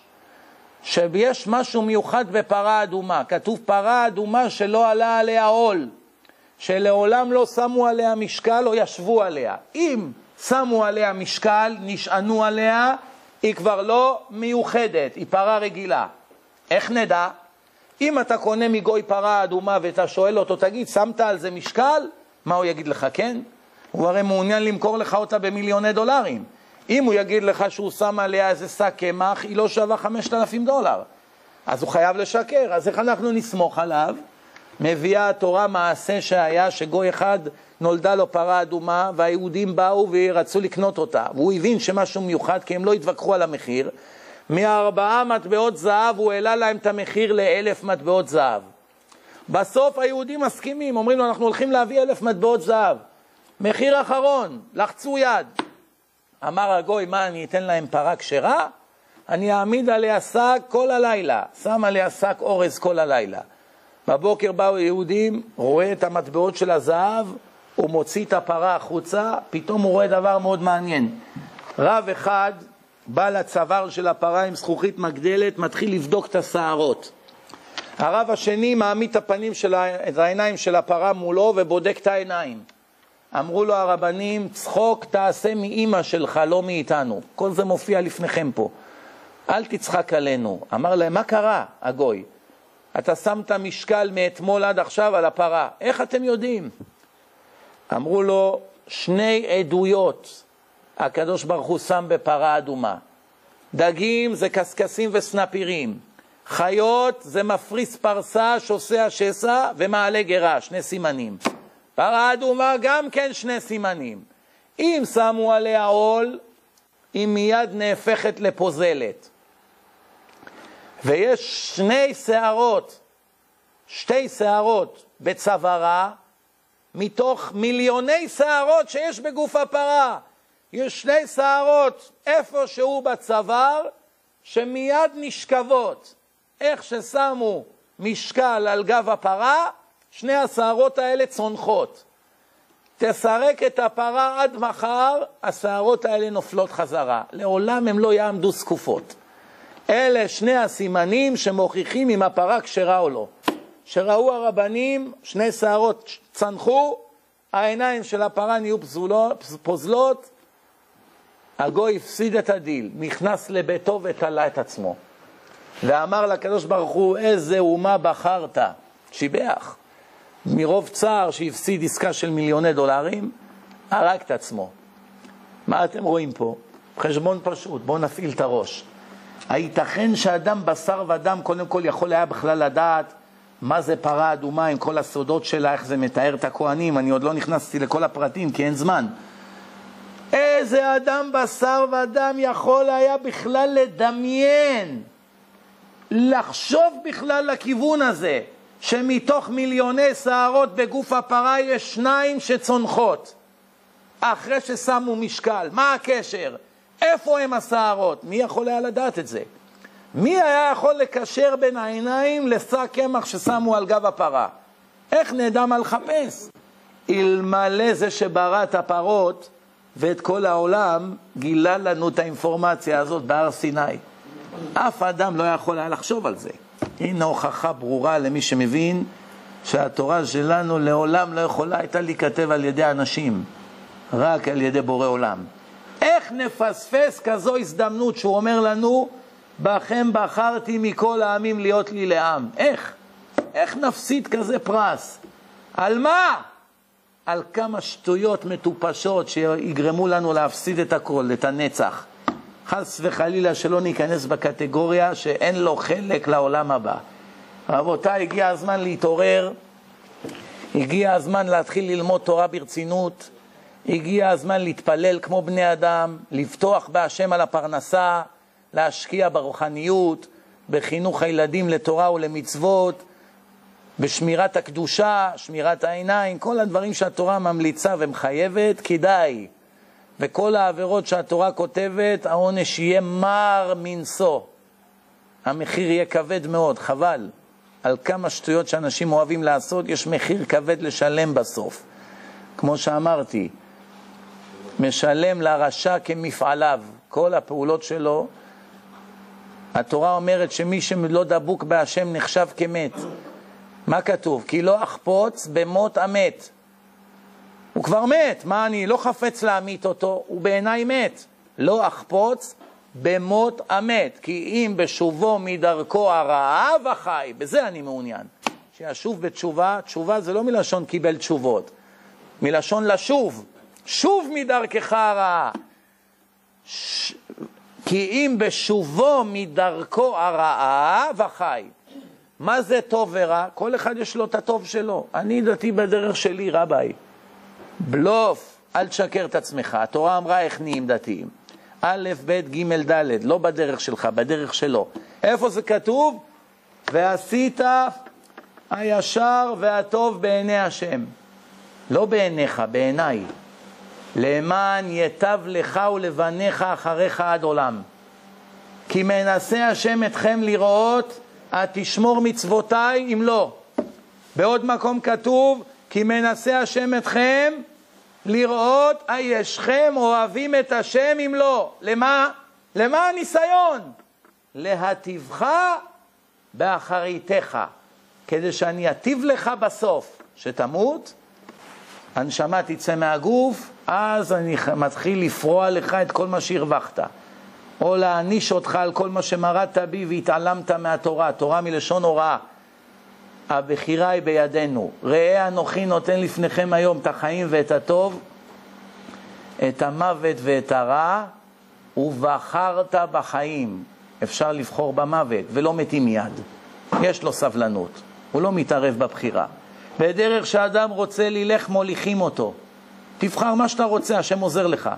כשאתה הולך לרצוח, מי נותן לך כוח ללכת? לכוון, לקנות אקדח, לברוח. מי? מי נתן לך כוח לזוז? הוא. למה? הרי הוא לא מעוניין שתרצח. הוא לא מתערב בבחירה, זה הניסיון, זה המבחן. לטוב או לרע הוא נותן לך כוח, אתה רק תבחר איך אתה רוצה להשתמש בכוח. לאכול כשר או לאכול טרף. לעזור לעניים או לגנוב מהם. להיות אמיתי או להיות שקרן. להתחתן עם יהודיה כשרה לפי דת משה וישראל ולהיות נאמן לה ולעזור ולחנך את הילדים וכל מה שצריך, או להתחתן עם גויה שיכולה להיות אישה מאוד נחמדה, אבל מה לעשות, התורה לא התירה. התורה לא התירה. י"ב מזלות בראתי ברקיע. אלפיים שנה אחורה, בזמן שעוד לא ידענו מה זה גלקסיות. 1,600 שנה לפני גלילאו. ועל כל מזל ומזל בראתי לו שלושים חיל. ועל כל חיל בראתי לו שלושים ליגיון, ועל כל ליגיון בראתי לו שלושים רעתון, ועל כל רעתון בראתי לו שלושים קרתון, ועל כל קרתון בראתי לו שלושים גיסטרה, ועל כל גיסטרה תליתי בו שלוש מאות ושישים וחמישה אלפי ריבו כוכבים, וכולם לא בראתי אלא בשבילך, בשביל עם ישראל. ואת אמרת, עזבתני ושכחתני? יש לכם את החוצפה להגיד שעזבתי אתכם ושכחתי אתכם? בראתי מיליארדים של מיליארדים של גלקסיות וכוכבים בשבילכם. למה? שאו מרום עיניכם וראו מי ברא אלה. ככה כתוב, תסתכל לשמיים, תת... תתפעל, איזה יצירה מדהימה, איזה גודל, אלפי שנות אור, מיליארדים של גלקסיות, הכל בתנועה, אחד לא פוגע בשני. כל זה בצ'יק. בשביל שיהודי ילך ויסתכל ויגיד מה רבו מעשיך השם, כולם בחוכמה עשית. חשבון 12 כפול 30 כפול 30 כפול 30 כפול 30 כפול 30 כפול 365 אלף, ריבו זה רבבה, זה עשרת אלפים, עשר בחזקת 19 כוכבים. זה מופיע בתלמוד במסכת ברכות עמוד ל"ב לפני בערך אלפיים שנה. 1,600 שנה לפני שגלילאו זקף את הטלסקופ שלו לשמיים, שעד לאותו זמן כולם חשבו שיש 6,000 כוכבים בלבד, זהו, כי לא יכלו לראות יותר. ופתאום הבינו שיש הרבה יותר, אבל בתורה זה כבר כתוב הרבה לפני. בראתי מיליארדים של כוכבים. מי יכול היה לכתוב כזה דבר לפני אלפיים שנה? מי? רק בורא עולם. ואני יכול לתת לכם, כמו שאמרנו, הוכחות עד מחר. אני חושב שהמסר הובן. הנה, בשנת 1990 דוקטור טי ברוארס מקווין מרי קולג' בלונדון ערך מחקר בעזרת מחשבי ענק ומצא שקיימים עשר בחזקת 19 כוכבים ביקום. בדיוק מה שהתלמוד אמר, תורה שבעל פה. תודה רבה לכולם, אני שמח שהגעתם, אנחנו לא הספקנו הכל, אבל עשינו 90 אחוז. עכשיו אפשר לאכול ולשתות, כי הנשמה, ברוך השם, שבעה. עד ההרצאה הבאה, תודה רבה לכולם.